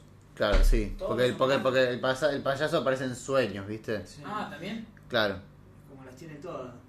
Como Las tiene todas para vos. Pero, pero ¿vive en los sueños o vive en la vida real? No, no, no entendí nada. No, no, no. no, no, no haga más. ¿No? nada. Es la, es la imagen, es la imagen de Chiquitapia diciendo disfrutalo. No, no, no, no. Ah, pero pará, boludo. ¿no? Porque generalmente los slashers se, se caracterizaban por. Bueno, hay, hay fácil entendimiento. Esta es la parte en la que yo, uno puede estar escuchando, uno dice, pero desconectar la cabeza, man, es un slasher, unos asesinatos, no, para, para. Un slasher, ya dimos ejemplos acá de sobra que los slasher no son eso. No son eso. Claro. Los O sea, slashers son más que eso. Vos lo que estás entendiendo es que un slasher es una boludez. Y yo no, yo estoy entendiendo que los slasher son buenas películas. Digamos, que pueden ser buenas películas. Habiendo dicho todo esto, si uno lo que tiene que hacer es desconectarse y decir, bueno, man, son asesinatos y listo. Bueno, primero no tendría toda esta cosa medio fantástica que no tiene razón de ser. Y segundo, no duraría dos horas y media si solamente es cuchillazos y listo. Porque ¿qué tenés para contar en dos horas y media de cuchillazos y listo? Así que eh, es medio raro el, el- el reclamo, ¿no? El requisito ahí. Eh, no sé, es como una película que, que de repente puede tener buenas intenciones, que de repente puede tener esto de los efectos prácticos que está bien, pero que fue puesta en un lugar eh, muy forzado, muy forzado, en un lugar de, de, bueno, acá el terror que viene y un poco de sangre y un asesino icónico, pero porque no hay un carajo, o sea, porque, ne- porque el slasher está medio ahí y que no hay una figura, entonces bueno, vamos a forzar, ¿viste? Cuando aparece un jugador, aparece de repente eh, eh, Mesidoro y dicen, este es el próximo... ¿Sabés cómo lo vendieron a Maroni? Eh, Sí. Fernández dijo, eh, se viene Maroni en Boca, eh, me dicen que tiene cositas de Mesidoro. Sí. Pero Mesidoro... cositas de Mesidoro. lo está matando al pibe, pero bueno, esa, esa cosa de forzar porque bueno, no estás en un momento Eh, pero no funciona. No, porque está el lugar vacante y hay que aprovecharlo. Sí, pero es muy forzado. Muy forzado desde la película en sí. Eh, pero bueno, qué sé yo. No. Final bastante tiempo. La, yo sé que hablé, viste, de la película que tiene como este intento de construirle una heroína. Yo, el final con la espada es una vergüenza ajena. No, el final con la Eh, espada es, es- muy malo. Pero no termina más tampoco la película. No, bueno, no. Dura dos horas y media. No, no, no. Eh, qué sé yo. Y, y- otra cosa que a mí no me pareció, yo entiendo, sí se ve mejor, pero hay escenas que no se entiende. Aparte de esa cuando está viendo a la nena, vos decís los ejes, viste, decís esto Sí. como, como medio feo, viste, de cómo Sí, sí. Pero bueno, eh, no, creo que el, el tema eh, pasa más por, por otro lado. Eh, Bueno, yo creo que vamos a ir eh, cerrando. Eh, teníamos algunas películas más para mencionar. Yo sé que este año hubo algunos directores que nosotros esperábamos eh, y que también han decepcionado. Eh, en su momento hablamos en Patreon de Crimes of the Future, ¿no? De Cronenberg. Una película que, si bien a mí, creo que ya me queda viejo un poco decir me gustó, pero, qué sé yo. Algo le vi, pero claramente no era... Mejor dicho, sí era lo que esperaba, porque me imaginaba que Cronenberg iba a ser algo parecido a lo que venía haciendo los últimos 15 años. Pero bueno, quizás falsamente ilusionado pensé que iba a volver a algo más lúdico, que era quizás lo más su mejor etapa. Eh, después tenemos una, una película también que, que fue el peor timing del año. Eh, nos podemos reír al respecto. Ahora nosotros hicimos un... Creo que el mejor episodio del año que hicimos fue el de CMX. Eh, y a la semana Robert saca Pinocho, que para mí es su peor película, eh, o una de sus películas más flojas. Eh, No, vi, vi los primeros 25 minutos de Pinocho. difícil, ¿eh? Sí, sí, sí. Me cuesta. Está mal, pero los dibujillos. Pero es raro igual, porque viste que, por ejemplo, vos de Witches la llegaste a ver. ¿Cuál? The Witches. No la vi. Ah, porque esa está, está buena, ¿eh? Está buena el Witches. The Witches está buena. Y viste que esa también es de Disney. Sí. Y esta era la segunda que hacía. Eh, y estaba buena The Lo que Witches. vi de esta es que es el Pinocho clásico. O sea, es el Pinocho de cuando yo era chico. Sí, cuando sí. a mí me mostraban Pinocho en Disney, era ese Pinocho. Pero con humanitos. Algunos, porque ni siquiera acá, algunos son un zorro. Hanks está- No, Tom Hanks está muy gaga en la película. ¿Sí? Sí, sí, está en, en su peor Y momento. aparte después salió Pinocho del Toro. ¿La Nacho del? Toro. Sí, esa está bien. Igual, igual ya estoy viendo que unos 10 y digo, no. No vi Pero- Pinocho del Toro. Y ahora sale un juego de Pinocho. Que Te va a eso ser te lo mejor. Pinocho. Le va a crecer la nariz. Sale un juego tipo Dark Souls, pero de Pinocho. Mira, como Dark Souls. ¿Viste? Rarísimo. Pero pará, que es de- es de- Pinocho Manía no para. La playa mañana no para. Eh, estoy buscando acá, no sé si hay alguna más. eh, así de decepción. No sé si tienen alguna, alguna- no sé si tienen ustedes alguna película que, que les haya agradado, que quieran compartir. Yo, por ejemplo, está Decision to Live, eh, la de Park Chan Wook, que está bastante bien. Eh, Ah, 1985, no lo hablamos. Ah, 1985. Bueno, no 1985. hablamos nunca. Está la de Vegos, que le íbamos a hablar en algún momento. Bueno, pueden, pueden hablar en Patreon con, conmigo. Va a salir un Patreon. Ah, es verdad. Segunda parte de terror. Vamos a hablar de eso. Podríamos haber hablado un poco de Glass Onion, la gran Glass Onion de Ryan Johnson, pero no creo que valga la pena. Y bueno, creo que sería eso. Eh, mí- yo este quiero- año vos viste muchas, vos tenés Sí. que tener. Este año fue la de. No, no me acuerdo el título, voy a ser eh, bruto para decirlo. La ciega que le van diciendo por teléfono qué hacer. Sí, for me, mirá. eh, en realidad la película eh, yo la fui a ver al cine en 2022, principio de 2022, pero está en IMDB como Ah. 2021. Igual, ¿Dónde la hablamos? No, la hablamos, está buena. Ah, pero mira, yo, o sea, la hablamos entre nosotros. Sí. Eh, Sí, Claro. yo la tengo bien alta, esa película sienta. Sí. Es tremenda. Eh, tengo también Spider-Head de Kosinski. Ah, sí nos olvidamos mencionarla. Eh, tengo Deep Water de Adrian Lin. Uh, buena esa. Muy buena. ¿Vos la viste? No, mirala. Muy buena. Eh, tengo There Are No Saints, que la escribe Paul Schrader. Mirá, Muy poco vista esta película, ¿eh? Eh, tengo eh, There Are No Saints, no hay santos acá. Eh, la iba a dirigir y bueno, después agarró otra película y dirigió. Eh, eh, también está la de... eh, The Menu es simpática. no la menú está simpática, es sí. simpática. Eh, Está el teléfono negro, les había gustado, creo. Uh, el teléfono negro no lo hablamos, es verdad. pensaba- Bueno, justamente el teléfono negro. Ah, no, también la vamos a hablar, en, la vamos a hablar en Patreon, tenés razón. Eh, a mí me gustó Fresh, a vos no te gustó tanto, Manu, pero No. me gustó. Eh, me pareció eh, una película agradable.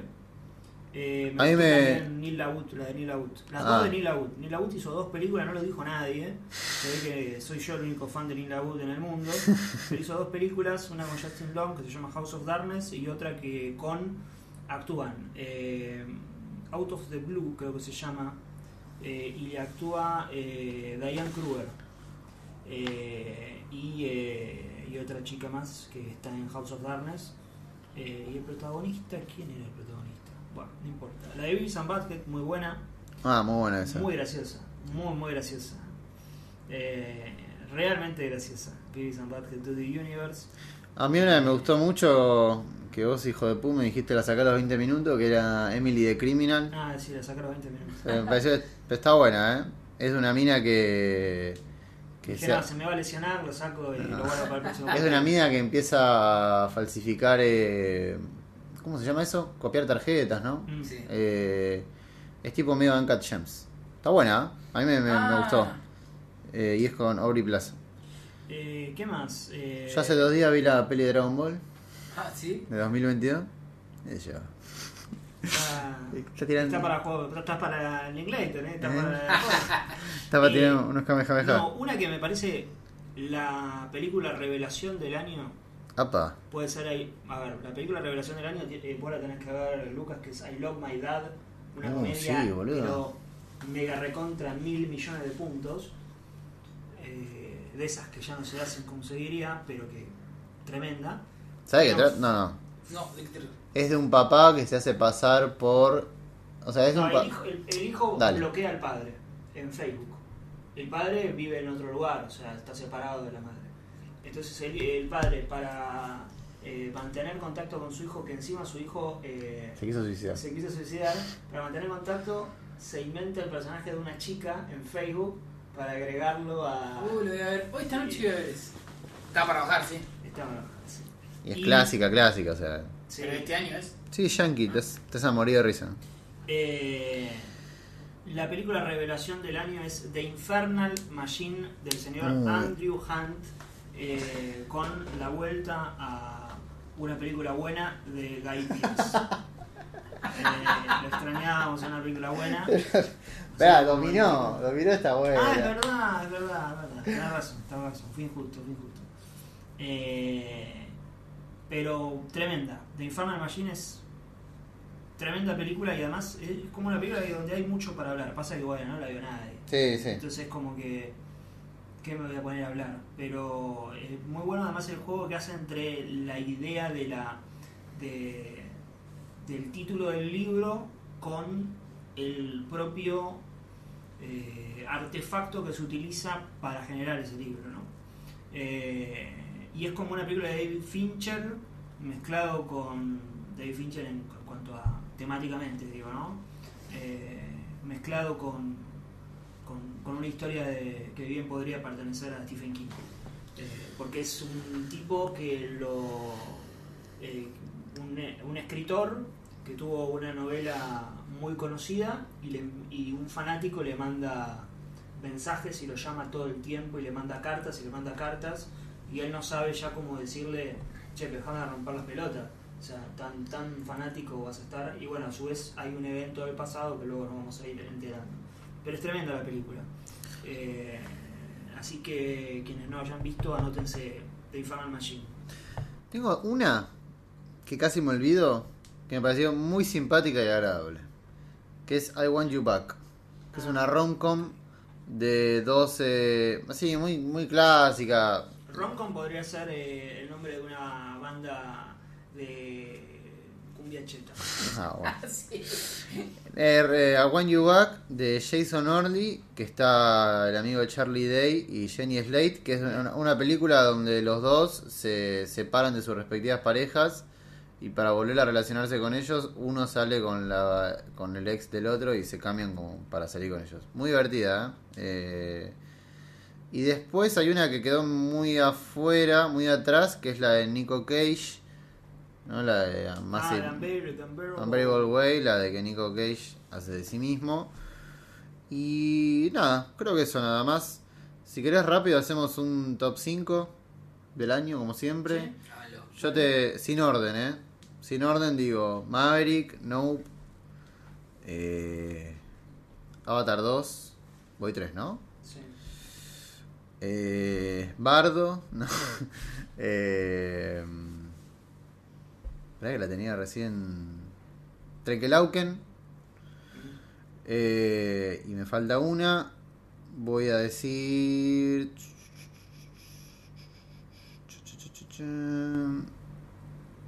Voy a decir.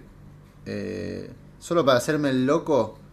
Eh, Moonish Daydream, el documental de Bowie. Eh, voy.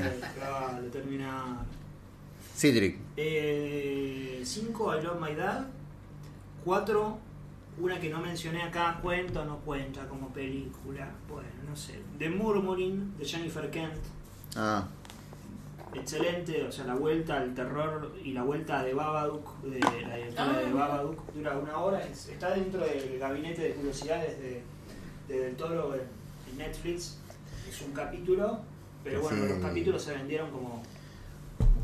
Tienen sus propios póster dirigidos por directores distintos, con estilos distintos, o sea, son como películas de, una hora y cinco, una hora diez. Eh, tremenda, pero además dialoga muchísimo con The Babadook. Eh, qué feo que queda decir fuera de contexto el gabinete de curiosidades del toro, ¿no? Parece que estás hablando del culo, boludo. Horrible. ¿Por qué, muñecos, pensabas, se imaginan. ¿por qué eh, pensabas en el culo de todo? Bueno, gracias. Yo estaba hablando de una película Ah, boludo, no hablamos de Dark Glasses. Dark Glasses. Dark Glasses.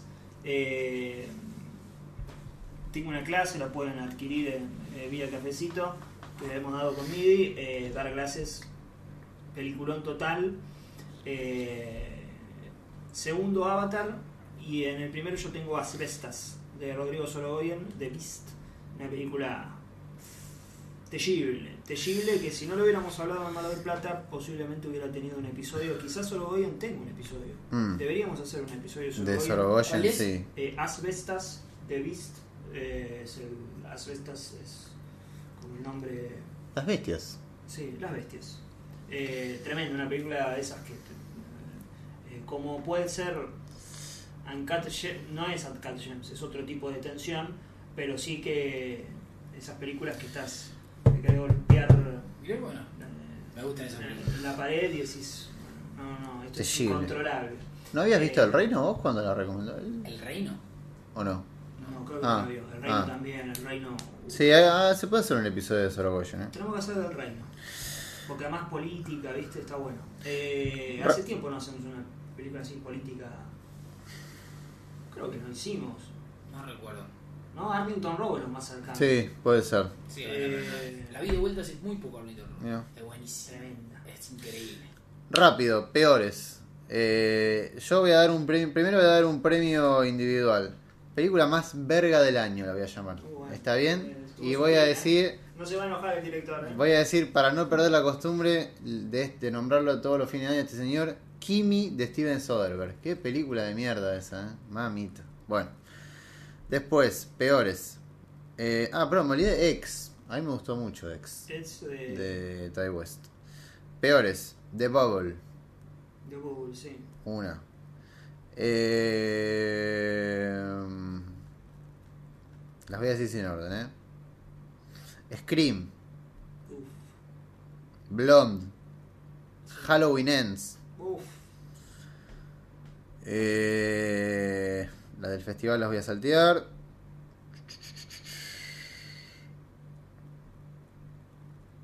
Traen los Andes las voy a contar. Atena. El hijo de Costa Gabras. Men, Glass Onion, ya mencioné muchas, ¿no? Pero bueno. Sí. Y eh, Good Luck to You, Lío Grande. Muy bien. Si ustedes quieren, ver, Si usted- a Lucas. A ver. vos, si un día, Lucas, llegás en un. Llegás a un punto de tu vida donde decís, che, tengo ganas de que se me muera la pija. decir, no tengo más ganas de coger. Eh, y no querés tipo algo muy violento, ¿no? No, no, no querés agarrar un, un No querés cuchillo recurrir. y tampoco tenés ganas de pasar por el quirófano, una vasectomía. No, simplemente querés decir que se me muera, ¿no? Que un día para el otro haga...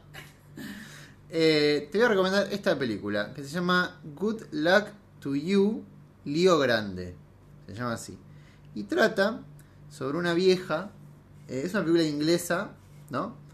Una vieja que tiene un encuentro con un taxi boy, sería así, con un taxi boy. Eh, acá te muestro a la vieja, la puedes ver ahí. Ah, boludo, vi, el- vi la, el trailer en cine. No, bueno. Y el trailer en cine. Y básicamente a la vieja le cuesta mucho coger, ¿no? Porque el marido, eh, en fin. Y son, ¿cuánto dura? Una hora 37, que parecen tres horas de ellos dos hablando en ese cuarto de hotel y viendo, ay, cojo, pero no cojo, y no, no sé, no me animo, no me animo. Y bueno, eh, eso es la película. Entonces, a mí se me murió el pito.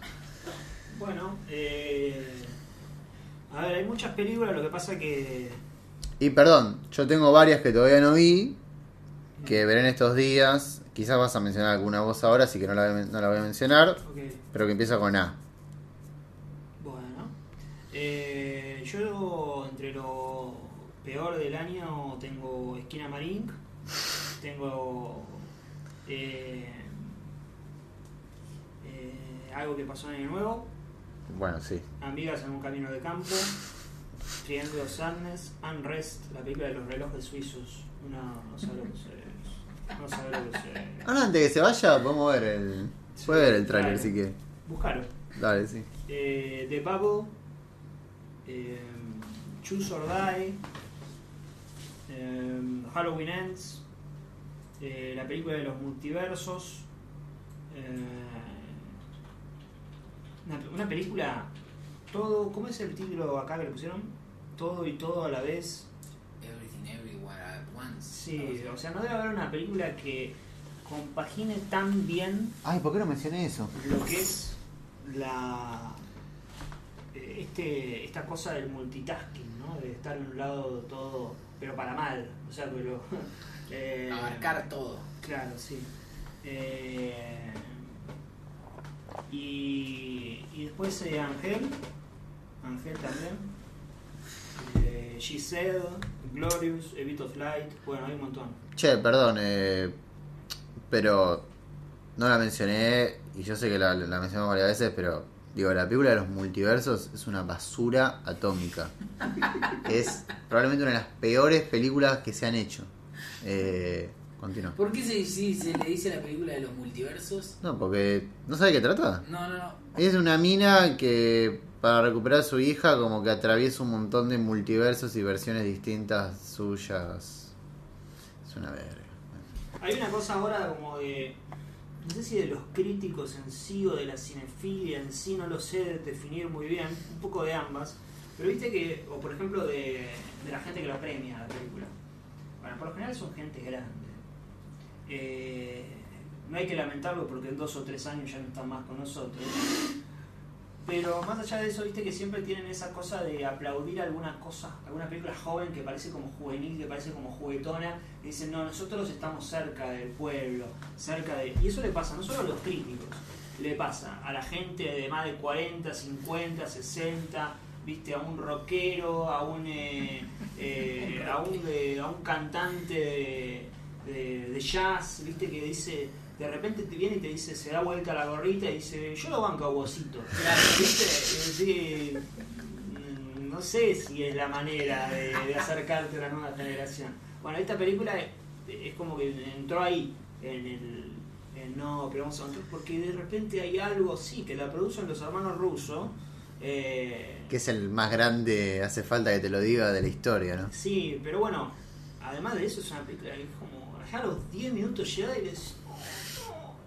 Quedan, y encima tiene esto, ¿no? Que dura 2 horas 40. Eso es un- algo terrible. Eh, No sí. pueden durar todas las películas 2 horas 40, No, 3 horas. Para mí todas las películas malas duran, son largas.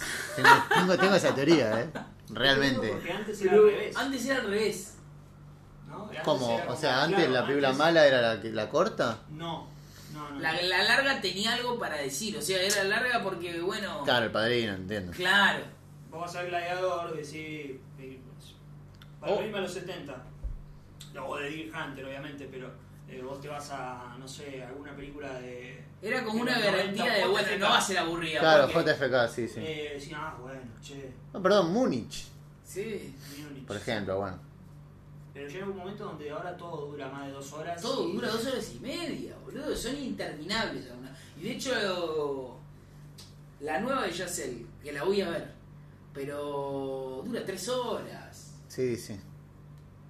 Dale, flaco, para un poco. Igual pasa, pasa con todo, ¿eh? Porque vos debes saber muy bien que ahora con los juegos pasa que todos los juegos tienen que durar 60 horas y eso Otra es, cosa eso que es es un, es un mal infumable. increíble.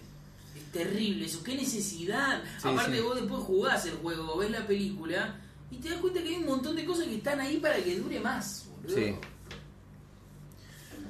Bueno, eh, cerramos. eh, nos estamos encontrando en el episodio seguramente de Fablemans. Sí, salvo que sea una garcha atómica para los tres. eh, creo. que es más difícil, no sé. No creo, tiene mucha pinta, la verdad. Tiene pinta de ser una película amena, entrañable. Tiene pinta de ser una película muy disfrutable. Estás a punto de decir carta de amor al cine. Sí, tiene pinta de eso, tiene pinta de eso. Pero bueno, uno espera. Tengo mucha ganas de verla. Es el Esteban. Eh, sí, Y, y seguramente es una película medio autobiográfica sobre la infancia, como Grey. sí, es. Sí, sí. Eh, nada. Tiene su escena con Coso, ¿no? y con John Ford ahí. Ford. David Lynch hace de Ford. Sería genial. Viste la- ¿Te acuerdas cuando vino Ginás al programa que hizo una versión del encuentro de Spielberg con Ford? Sí, sí. Pero, pero en la que Spielberg era el tipo más idiota del mundo. Dice que Spielberg se fue de la habitación diciendo sí, sí, sí. Ojalá esté, esté filmada así. tipo lo contrario de Ñarritu, tipo diciéndose soy un genio, Sí. se va a escribir diciendo, che, soy un idiota yo, ¿qué hago? Bueno, muchas gracias eh, a todos los oyentes por acompañarnos en otro año más. Eh, yo sé que estamos grabando esto en un 18 de enero, pero es el episodio de cierre del 2022. Eh, ahora arrancamos con The Fablemans, que en realidad sigue siendo una película de 2022, pero bueno, podemos afirmar que el año 2023 va a arrancar con, con Shyamalan. Eh, estamos muy expectantes de eso. Ya en dos semanas nada más, poquísimo, qué loco eso. Eh, muchas gracias a todos por acompañarnos. Sabemos que fue un año de muchos cambios para Craco, que arrancamos varias cosas, que algunas arrancamos, tuvimos que parar, eh, algunas que ni siquiera se vieron a la luz, pero y cosas que quizás este año se den, no se den, no lo sabemos, pero bueno, siempre siempre pasa lo mismo, así que les queremos agradecer mucho a los que nos aguantaron un año más a nosotros y bueno, por un año que espero que sea mejor, No que este- este año. este año no, ¿no? El panorama de este año es crítico.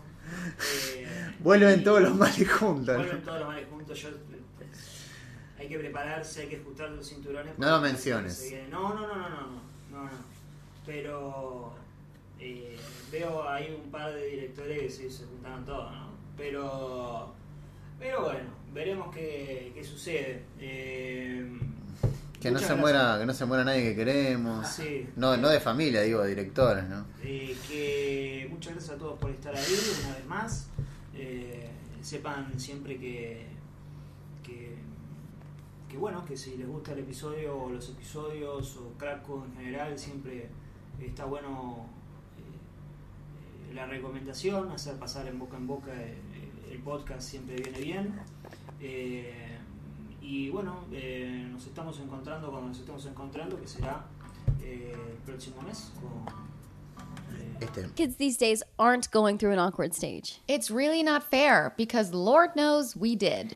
So, what were you like as a kid? Well, closeted. I didn't understand my vagina. I was psychotic. I was out of my mind. But hey, if there's one thing that connects us all, that just brings people together, it's our cringe. It's being cringy. This is Awkward Stage, the podcast that dives into the most embarrassing moments from the most awkward stages of our life. I'm Nicole, And I'm Alina. and we're your hosts and the trusted guides to draw the deeply buried cringe out of each of our wonderfully awkward guests. New episodes every Wednesday. Find us on Apple Podcasts, Spotify, or wherever you listen to podcasts. Okay, the trailer's ending, so just say something not awkward. Okay.